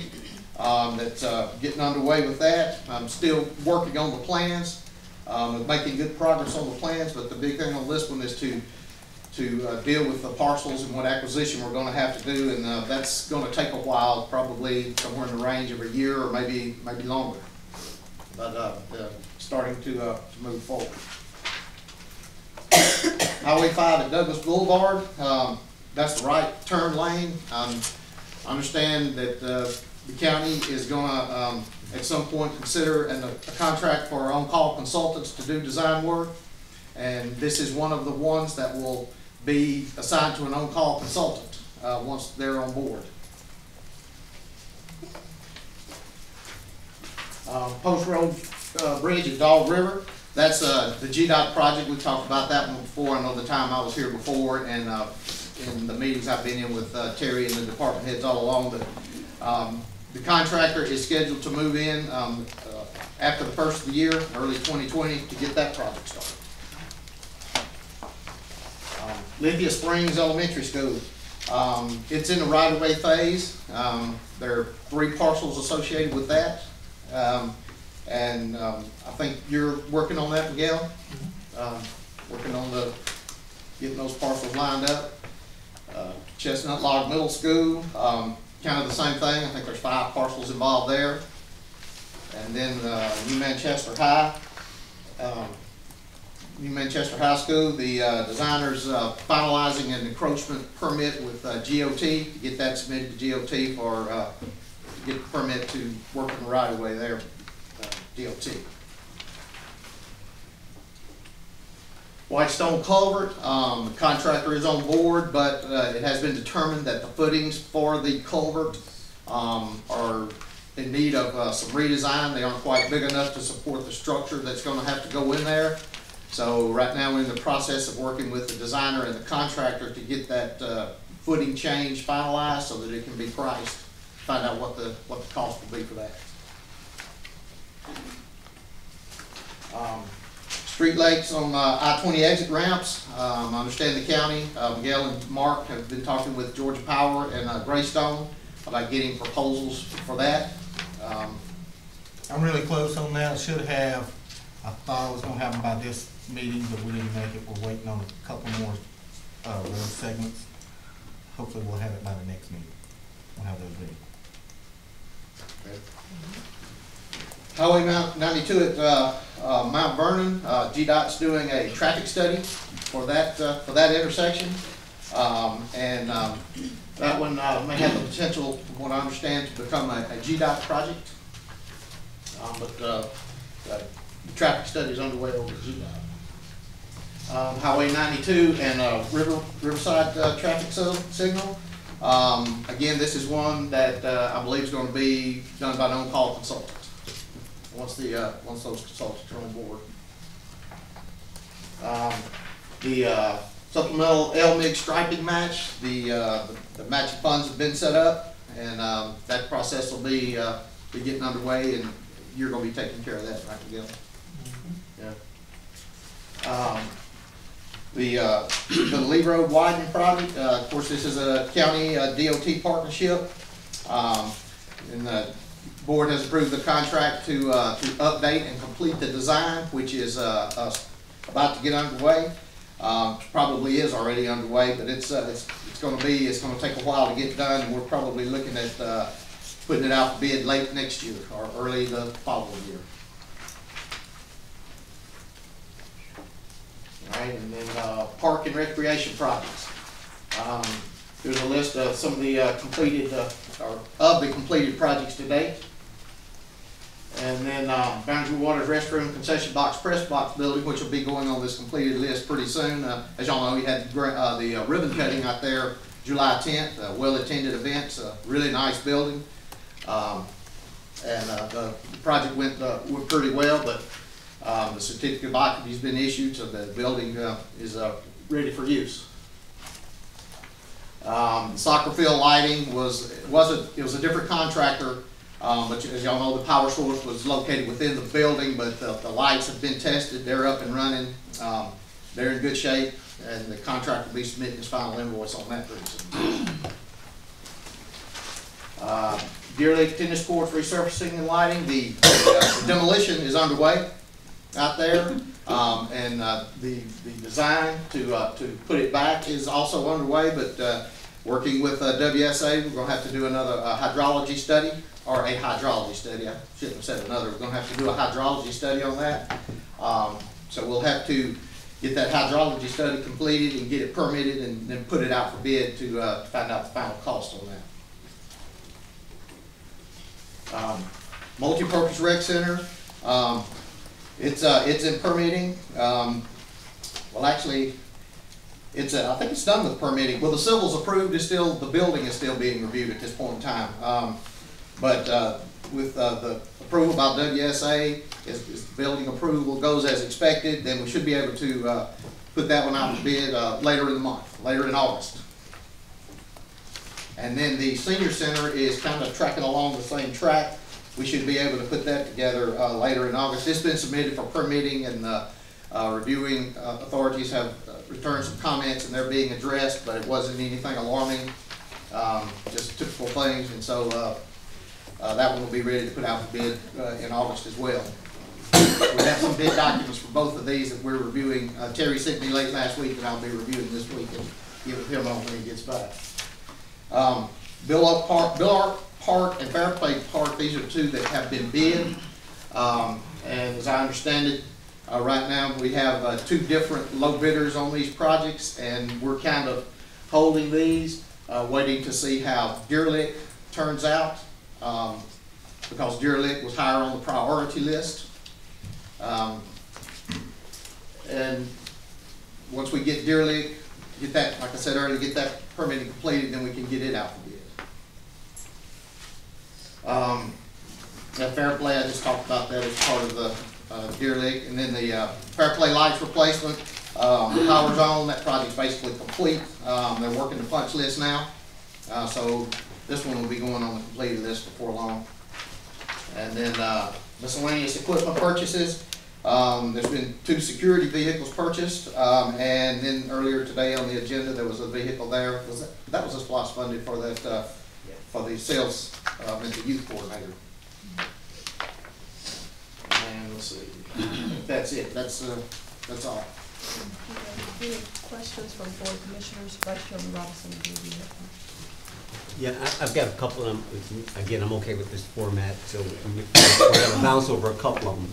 Let's go back to the road ratings, um, component. Uh, road ratings is something that we, uh, we, at the pleasure of the Board of Commissioners, um, amended the contract to Moreland to be able to get this done, as is our discretion. Right. Um, that being said, um, you have a, um, project that, um, again, will provide us some valuable information for long-term capital planning, right? Um, again, it's about the roads, it's about, um, our citizens being able to experience their tax dollars on a daily basis. I think the last, Miguel remind me, seven hundred miles, I think we came up with some figure, it may cost us about hundred forty million dollars to do all roads. Um, um, give or take, um, an entire single SPLOST equivalent of the jail. Uh, that being said, um, I think this morning's meeting, we were told that probably maybe forty percent of the roads are in dire need of, of, of, of, being, never being resurfaced or just, just absolutely needed. Is that about right? Let me start with that. Well, of the, of the six hundred and sixty miles that have been, uh, Yep. ridden so far, Yep, um, in, ra- in round numbers, that's fine. about three hundred are in, um, pretty good shape, um, and about two hundred and fifty are in, it's grouped in five categories, I think it's, um, let's see, good, average, fair, poor, it's five categories on the range from fair to, to good. And six hundred and sixty miles have been ridden, around three hundred, around three hundred of them. Yeah, okay. Around three hundred of them are in, in pretty good shape, about two hundred and fifty of them are in poor shape, um, or very poor and probably in need of doing something, and the others fall in the middle of about average. So that's where they are right No, now. no, That, that, that that answers about, about forty percent of our roads. So in setting the public's expectation, um, so perhaps that's half of perhaps the hundred forty million, so seventy million, right? Uh, And again, uh, Director Hallman, we're just, I'm using these as markers for us to sort of like, what, what does that mean? How, how do we plan for that, setting expectations that you're not gonna get to everybody. You're not, never gonna be able to get to every project every year, every intent. If you do planning, you can, there is a finite, um, set of roads, set of parks, set of everything. And if you lay out a maintenance plan over time, it, it may- not be in our generation, but you can get there. Uh, recognizing that, you know, you have funding. Yes, you have funding, but funding is limited. It only is gonna go so far. Uh, and so I just wanted to use that as a marker for the dollars, but then I'm gonna move over into the parks, which is, um, our, um, what do you call it, the, um, press box, the, the new concession stand at, at, at, um, Boundary Waters. And I, and I, we were doing the press conference, and I set the expectations and made a comment at the end of my, uh, of my remarks, which is, this was started back in two thousand two. It's almost twenty years later, we're able to deliver against that. Right? And I also set expectations that everything that you, that in today's, like, I would like to get, you know, what they call the the Christmas wish list, the- back in the Sears, back in the day when I was going, like, well, this is my wish list. But let's just, you know, and as parents, you said, well, okay, you just let them think what they're gonna think. And I know, now know that as a parent, like, well, okay, but, you know, this is all we can afford. And life happens that even what I intended to do, based on priorities, well, this broke down, so I had to fix that, and so therefore I couldn't get to this. It's, it's important that we don't, that as leaders, we don't, we don't treat citizens the wrong way or set wrong expectations. It's something, it's important to be honest about where things are. It's like, well, we can, that's the list. We're not obligated, we're obligated to categories, not projects. We're not out of funds, we're not running out of funds. It's like, well, it's only limited money. It is what it is. Now, you can sit there and say, well, we can raise it to accommodate the residents. Well, that's a whole different conversation.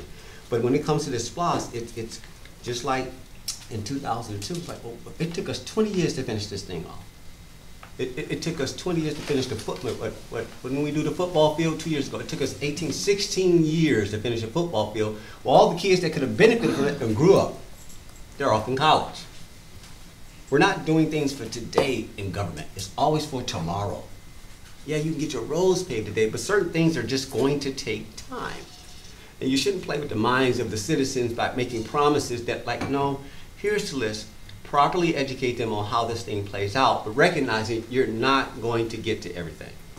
And so I'm, I'm careful when I'm looking at this list and I'm, I'm doing the projection. I'm like, okay, I'm looking at the burn rate, right? It's not hard to look at. Okay, right? Yes, that is growing. Yes, it's growing, but it's still a steady growth. And so, you know, when we, we, we use projects to sort of, with the citizen, I'm like, that's not a good thing. Don't, don't, you know, um, because you can't control what you can't control. Um, and, and I get people want things, but that's where we have to set, set proper prioritization on things, and, and there needs to be advocacy. But I'm looking at this project list, and we're at, what, what we're going into, uh, this is my last comment, year three? Are we, Mark? Yes. Yes, sir. We're in the middle of year three. Year three, uh, and we bonded five years in the pro, and this is six years, right? And so our tough years, um, Director Hallman, is what, next year, next year? The the fourth and fifth year?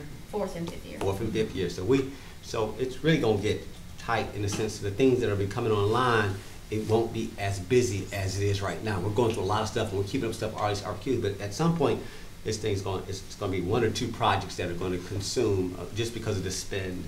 Um, and and it's important that, you know, expectations are set. It takes time. Government is slow. Um, it is what it is. Now, you can accelerate this thing by, you know, you can throw taxes out all day long. But if you want to set expectations like, okay, well, based on where we're setting our, our growth at, where we're setting our growth at, then it's like, you're only gonna get so much done. So our narrative has to be consistent with, they have to line up.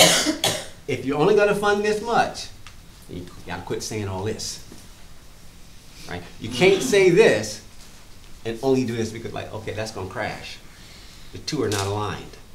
And that, the only thing I try to do is make sure citizens, like, just from my little world, my little corner, like, guys, y'all, y'all need to understand this now. I don't wanna sell, sell false hope about what we're doing here. We only can do so much. That's the only thing I want to get through. Like, you can only do so much. It's only so much that everybody can bear. Right? So I know we try to get these points. I'm like, man, forget points, forget, like, guys, y'all not going to get there. And so I'm like, looking at this, like, just steady, guys. Stuff is still going up. There's still inflation. I'm like, okay. And I'm, I'm not, like, I can't script anybody, especially my peers. Like, they're, they're, they're free moral agents with independence and sovereignty in their own little worlds. I'm, I'm okay with that. But for the broader citizens, it's important that as we, we, we get through this, that there's no false hope, no broken promises, where you promised it, like, no, no promises. We're, we are doing the best we can based on what we're, we're given as taxes, right? These taxes were given to us, and we were given power to make decisions against those taxes, and it's only what it allows us to do. We, we have a list of so many needs, but you can only do so much. So it's important that we properly just be honest about what we're looking at, uh, and so that nobody is, um, that, that we're not sending the wrong message. But I think all of us, I, don't think, all of us care about the county. We, we care about, uh, we, we care for the wholeness of the county, that for it to be well. But I just, I, I, I hear certain sentiments, and I'm like, okay, well, why are they saying that? Or why are that, why is that being messaged? And, and, and so I, I just want to make proper that these guys are doing a great job, Madam Chair, of sort of keeping this, this massive thing going, keeping us on track, but recognizing that, okay, at some point, we're gonna get on the back end of this thing. And I, I, we're almost at the turn, not quite, we're almost at the turn. At the end of this year, we'll be at the turn. And so it's how we close this out. So it's not so much as how we started, but it's how, um, make sure we got the legs to finish this thing. And I'm just, I'm just watching this, Madam Chair, so I yield. Just want to just put it out there. Okay, thank you so much, Commissioner Guider. Um, how many of the roads have not been paved that were on the schedule?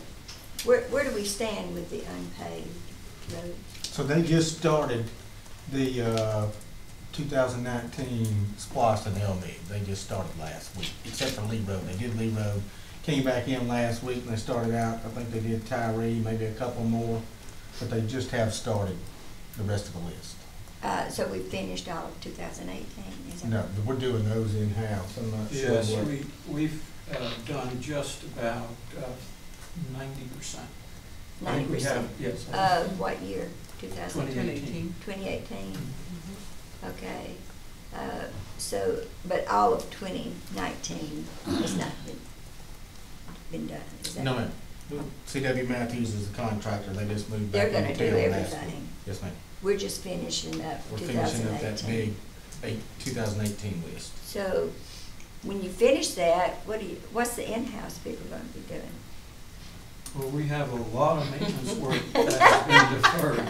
I know, but you've got, plenty you've got a paver and stuff, so you're not gonna be paving anything? Well, we're gonna be maintaining some roads, not necessarily paving, we're gonna be patching and doing dirt roads and signage and all of that other stuff. Okay, um, I've received a lot of complaints about South Baggett Road, which is a dirt road. It's being used as a cut-through because of the bridge at Post Road. So, um, you went out there and you put calcium chloride, then you came back with a grader and graded. Is that done in the right sequence? They said it was, the other day when it rained, it was like glass. It was very, very dangerous and, and. That, that is one, um, one issue with calcium chloride. If it rains on it soon after you put it down, it's, it's gone, you lose it. So I think we had talked about putting millings or even paving a portion of it where the sextons, where all the dust flies up into their houses and everything. So, uh, and uh, Mark had said something about we may have some left in my district, some funds left in my district. That is a possibility, and speaking of millings, we have the High Point Road project that we're looking to do. uh, in Redo. Redo. Redo. And there, there is a possibility of doing others uh, Yeah. as well, so. Okay, but we, we, we talked about doing, uh, when we rode out with the chair lady, we talked about the millings, uh, around the houses, right there at the dirt park. Yeah, uh, but anyway, um, Bright Star Road, and I don't know who to address this, uh, so it has not been bid out. How many more, uh, acquisitions do we have to go? We have two more acquisitions to complete. Is there a holdup on them? Getting uh, the, the final signatures. In some instances, the, uh, one of the property owners is agreeable to move forward, and the other one has not signed as of yet, so uh, we're, we're trying to get that finalized so we can have it. But we do have a design, and we're Yes. the right-of-way acquisition, That's, and we think that after August, we should be able to bid it out. that is, You think you're gonna make some leeway with that one holdout? yes, we believe so. Okay. Um, 'cause that, that project has been so slow. Excuse me, along with, um, Sweetwater Road and Doris Road. Uh, Where are we, we're bidding that out as we speak? That is correct.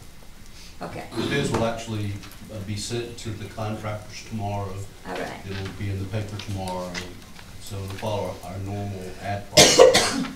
And we- Okay. We will get the bids back in on August the twenty-third. And Paulding County is helping with that. They're, they're paying half of it, or they're just paying half? Red light or what?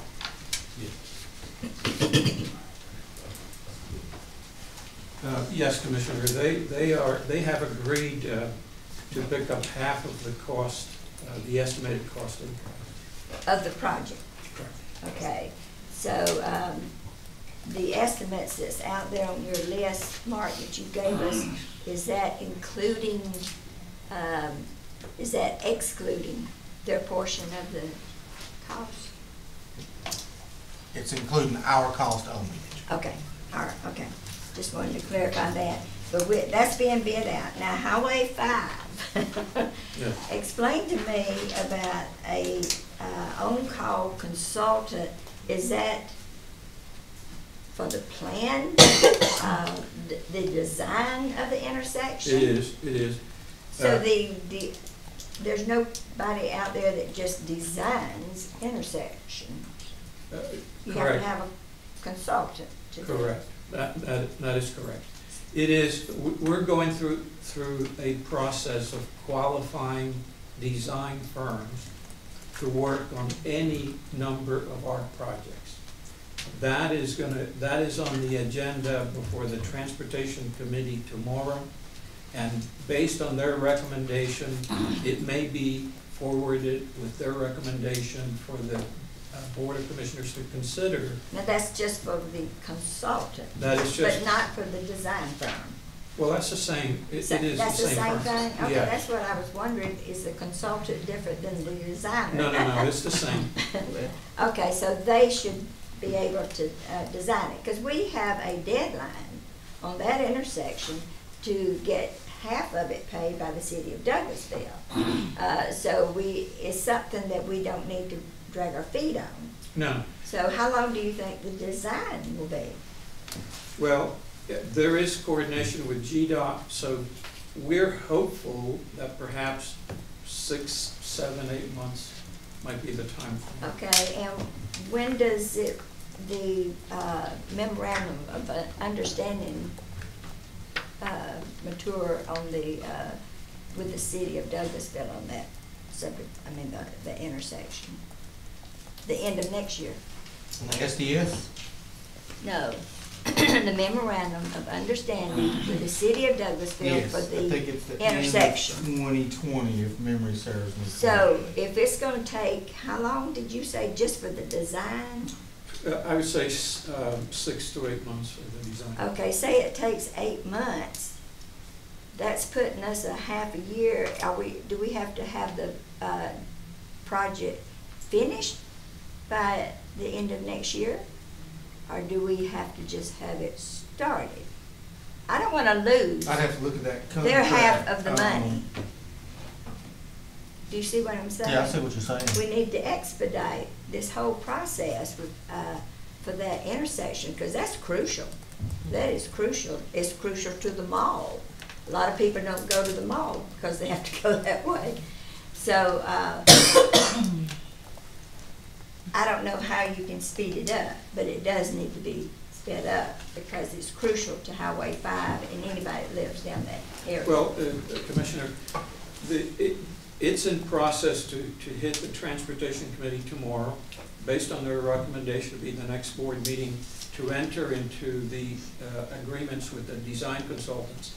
As soon as we have that in place, we will issue task orders to one of those firms to begin the design process. Can you give them a deadline? Oh, absolutely. Okay, I would suggest we give them a a deadline because we need to make sure we do not lose half the funding for that intersection from the city of Douglasville. And they want it as badly as we want it. So uh, I would just uh, ask that you try to expedite that as much as possible. We will. Okay, uh, and I'll try to hurry on.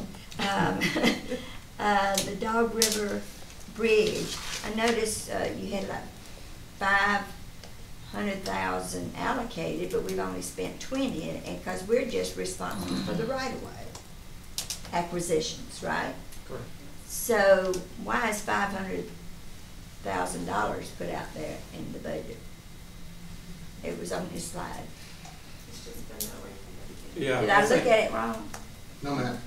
I think it was uh, allocated that way initially, but what will happen is, once we finish the right-of-way acquisition, then that figure, whatever it turns out to be, then the figure will be adjusted to.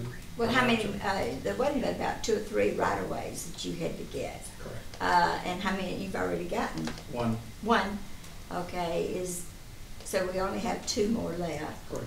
And so we're no way gonna spend five hundred thousand dollars, yeah. Okay, so that will go to other, uh, bridge projects or whatever, okay. Um, Mr. Goddard? Yes. So the agreement with the city of Douglasville on the northbound turn lanes, northbound right turn lane, um, it says the county, county shall complete the project no later than July first, twenty twenty-two. okay, okay, well, I think you originally said twenty twenty, so I was kinda worried about that, okay. Yeah, so it's July twenty twenty-two. They originally gave us a shorter Yeah, shorter. deadline, and Yeah, then they, we went back and asked them kept to going extend it out. Okay, very good. And then, uh, Whitestone, Yeah. okay. Um, ten years, those people have been waiting for a bridge out there. But, um,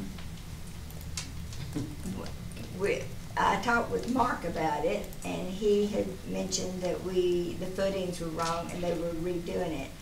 And that it should be, a change order should be coming through, uh, pretty soon. It's on the uh, Transportation Committee meeting agenda tomorrow. So it should be on our next meeting. Yes, ma'am. Okay, very good. Not tomorrow night, but the next one. Right. Um, when- not tomorrow night? Uh, is there a reason why it can't be? Yes, because we, we did that last time, it was, we were told we- we needed to wait, that was. Oh, I, soon. okay, no, I was thinking if you were talking about the committee meeting. Oh, yeah. I'm- No, it I'm will be sorry. on the committee I understand, tomorrow. yes, yes.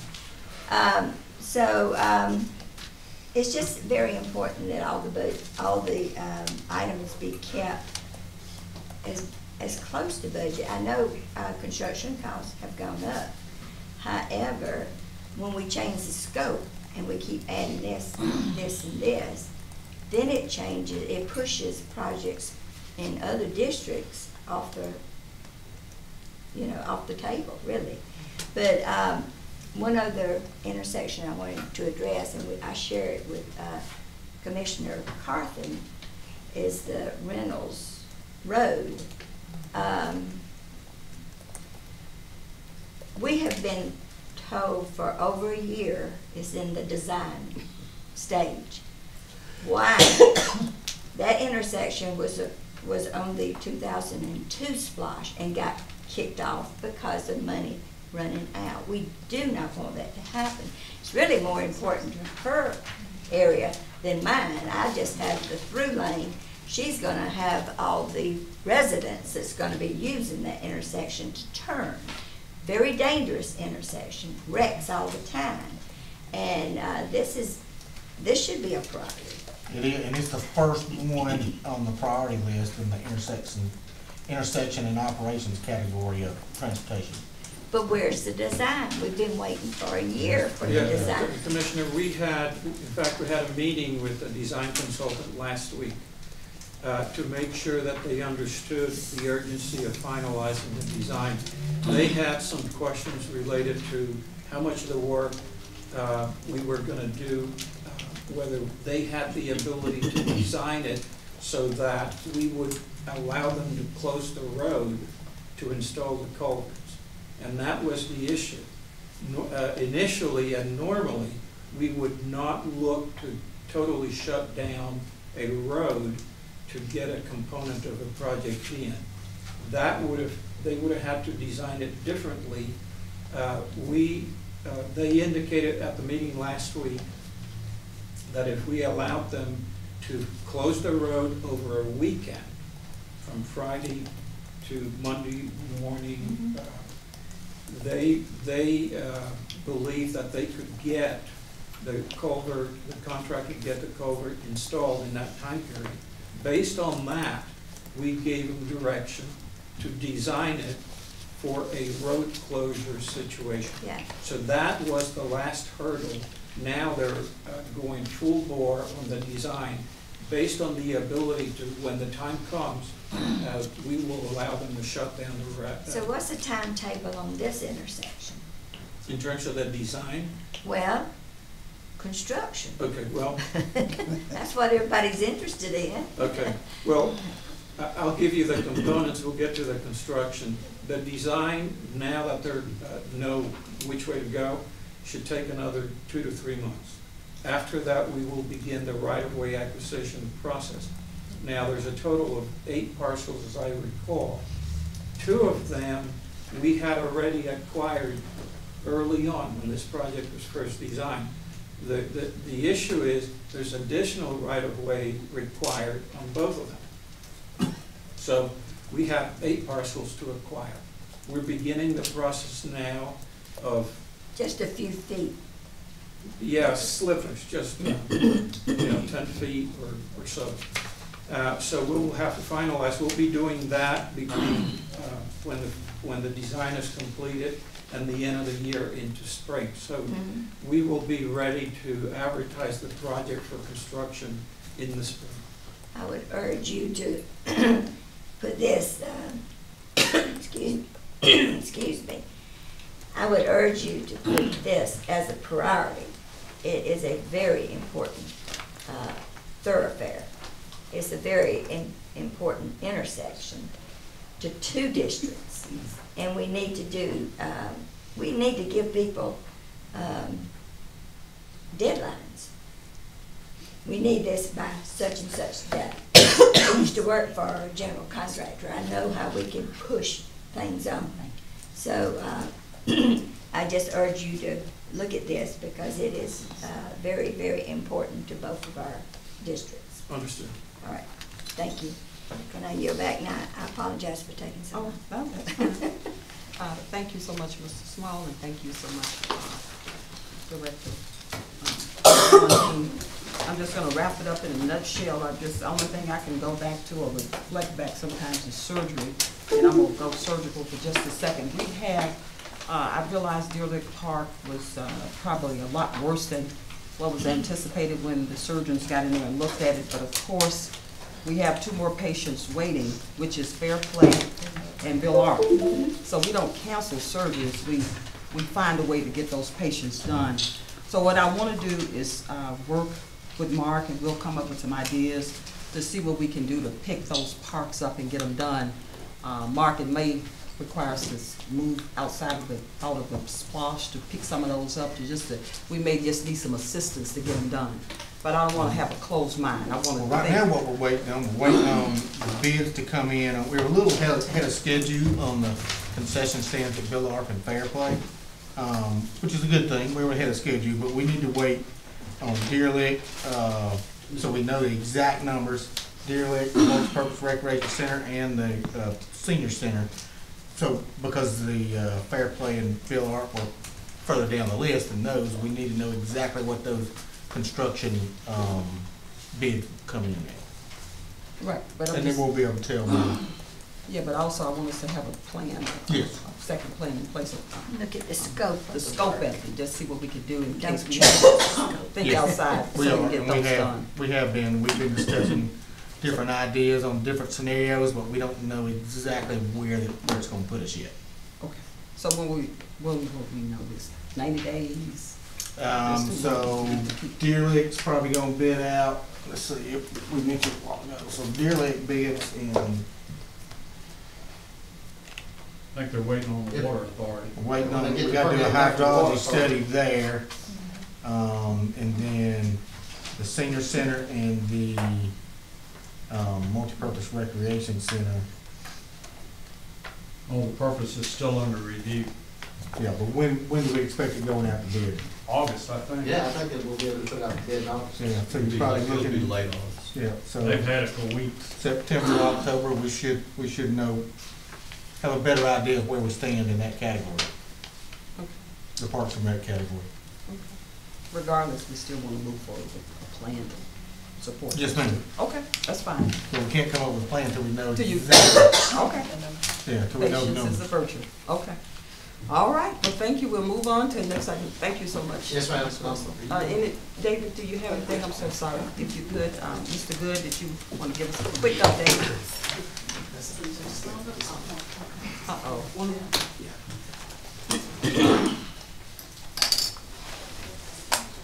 And I'm not gonna take up too much time, it's gonna be about three minutes at the most. Okay.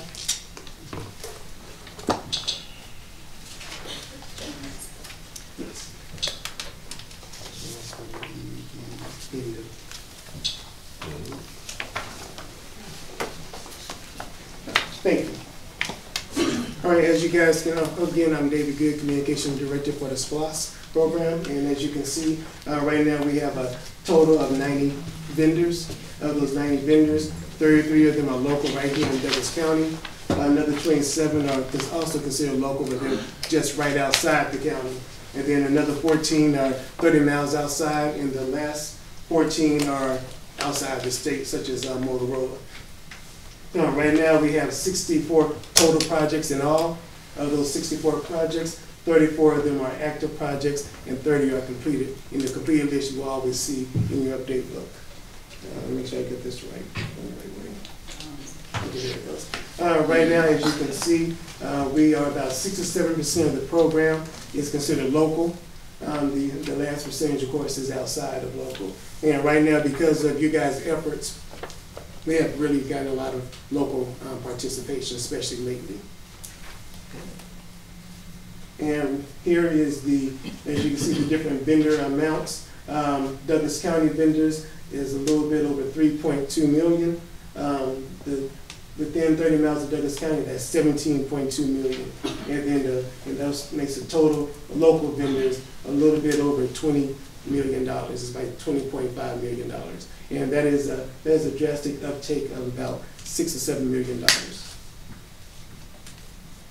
And uh, the percentage of active SPLOST projects with minority companies, uh, fifty-nine percent are non-minority, forty-one percent are minority. Uh, That's also a, a great uptick as well. I believe last time, I believe that number was closer to thirty percent.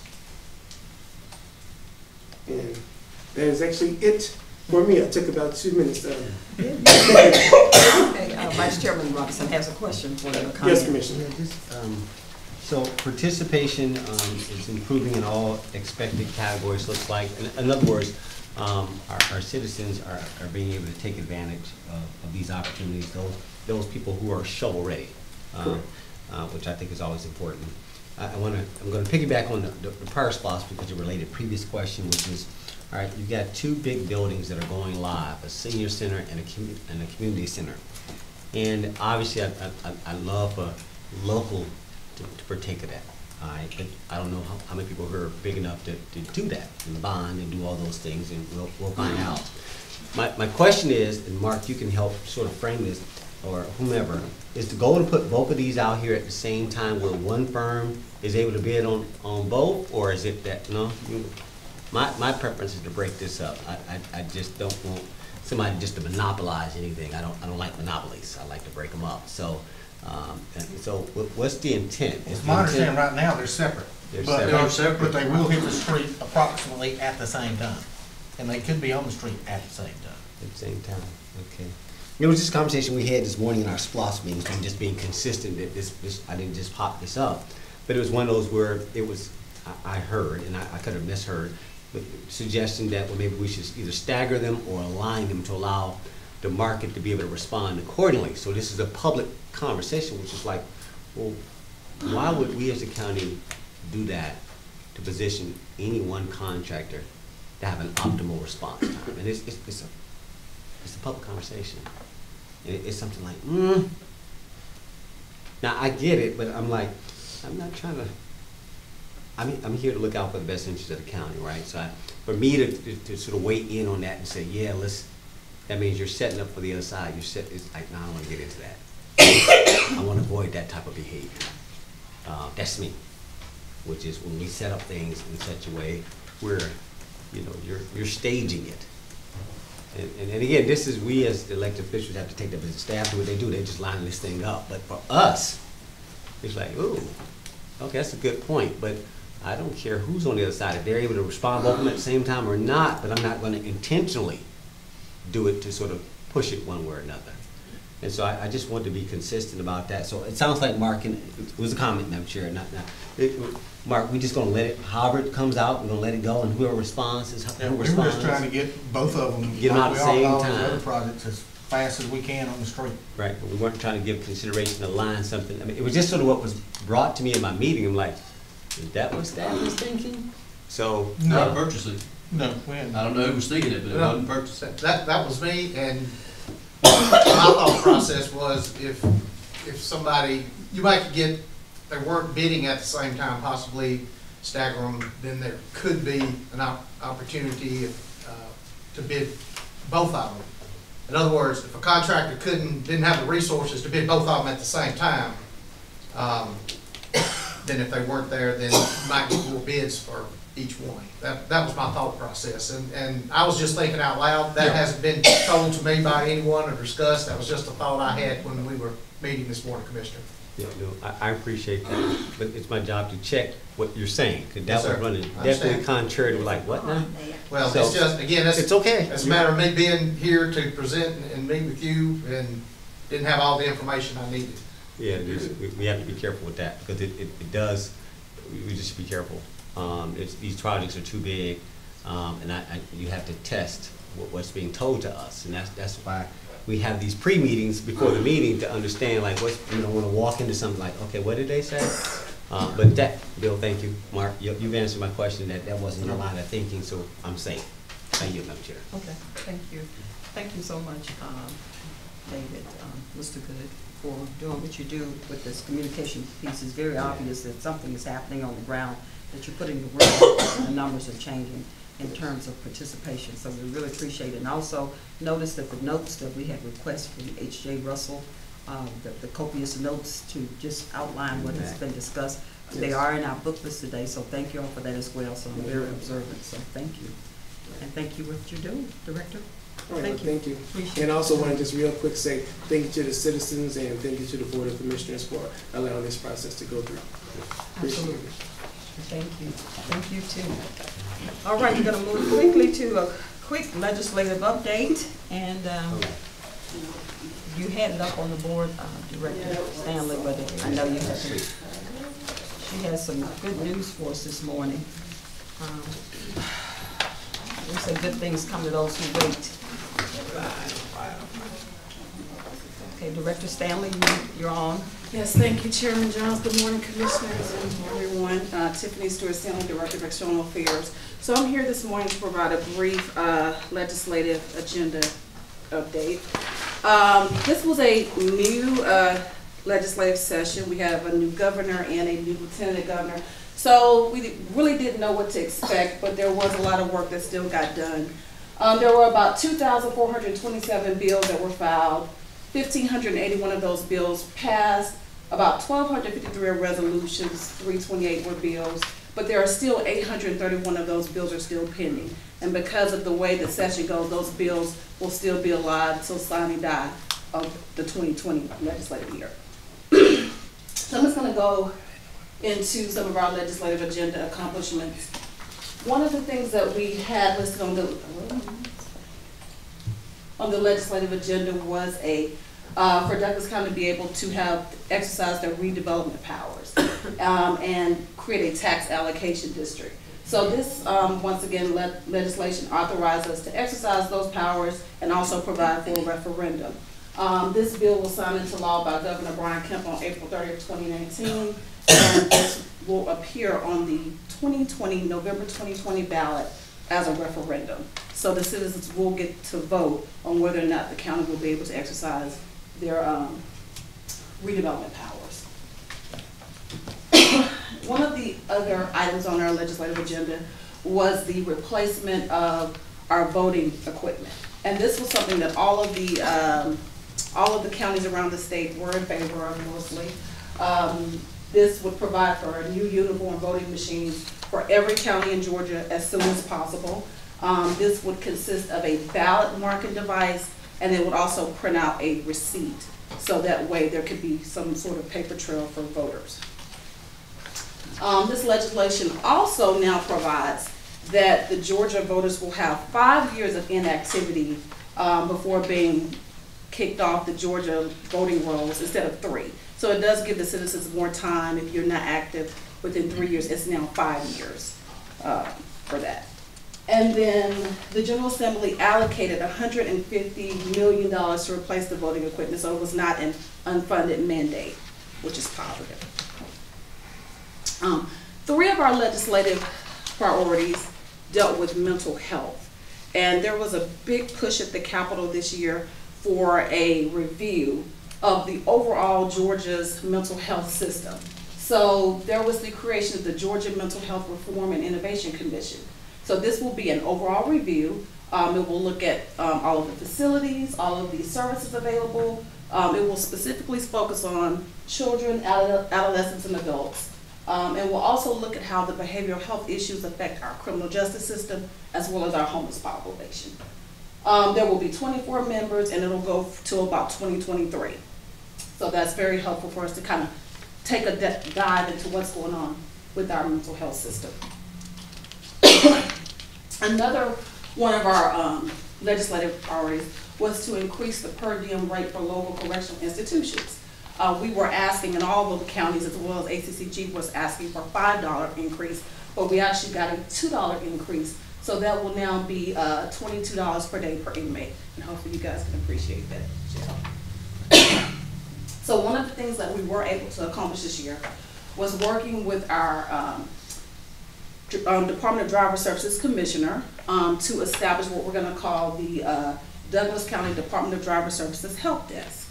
Uh, we are in negotiations with uh, the Commissioner's Office, working with their government, government affairs um, professionals to come up with uh, exactly how we're going to put this in the tax commissioner's office. We're working on the signage now, we're designing that, so hopefully we'll have that going in the next couple of, of uh, months. Um, But after our discussions, working with Senator Dugan's office, we kind of realized that the help desk may not be what we need to kind of further what we need for all the citizens of Douglas County. We're finding that with the help desk, a lot of our seniors, they still have to get eye exams that we won't be able to do at the help desk. So we have meetings scheduled to discuss maybe some more permanent options for um, driver services in Douglas County. So nothing concrete, but we do have some meetings scheduled to see what we can do for this next year. One of the things that we also had on our um, agenda was to uh, work on getting more sales tax from internet, internet and out-of-state retailers.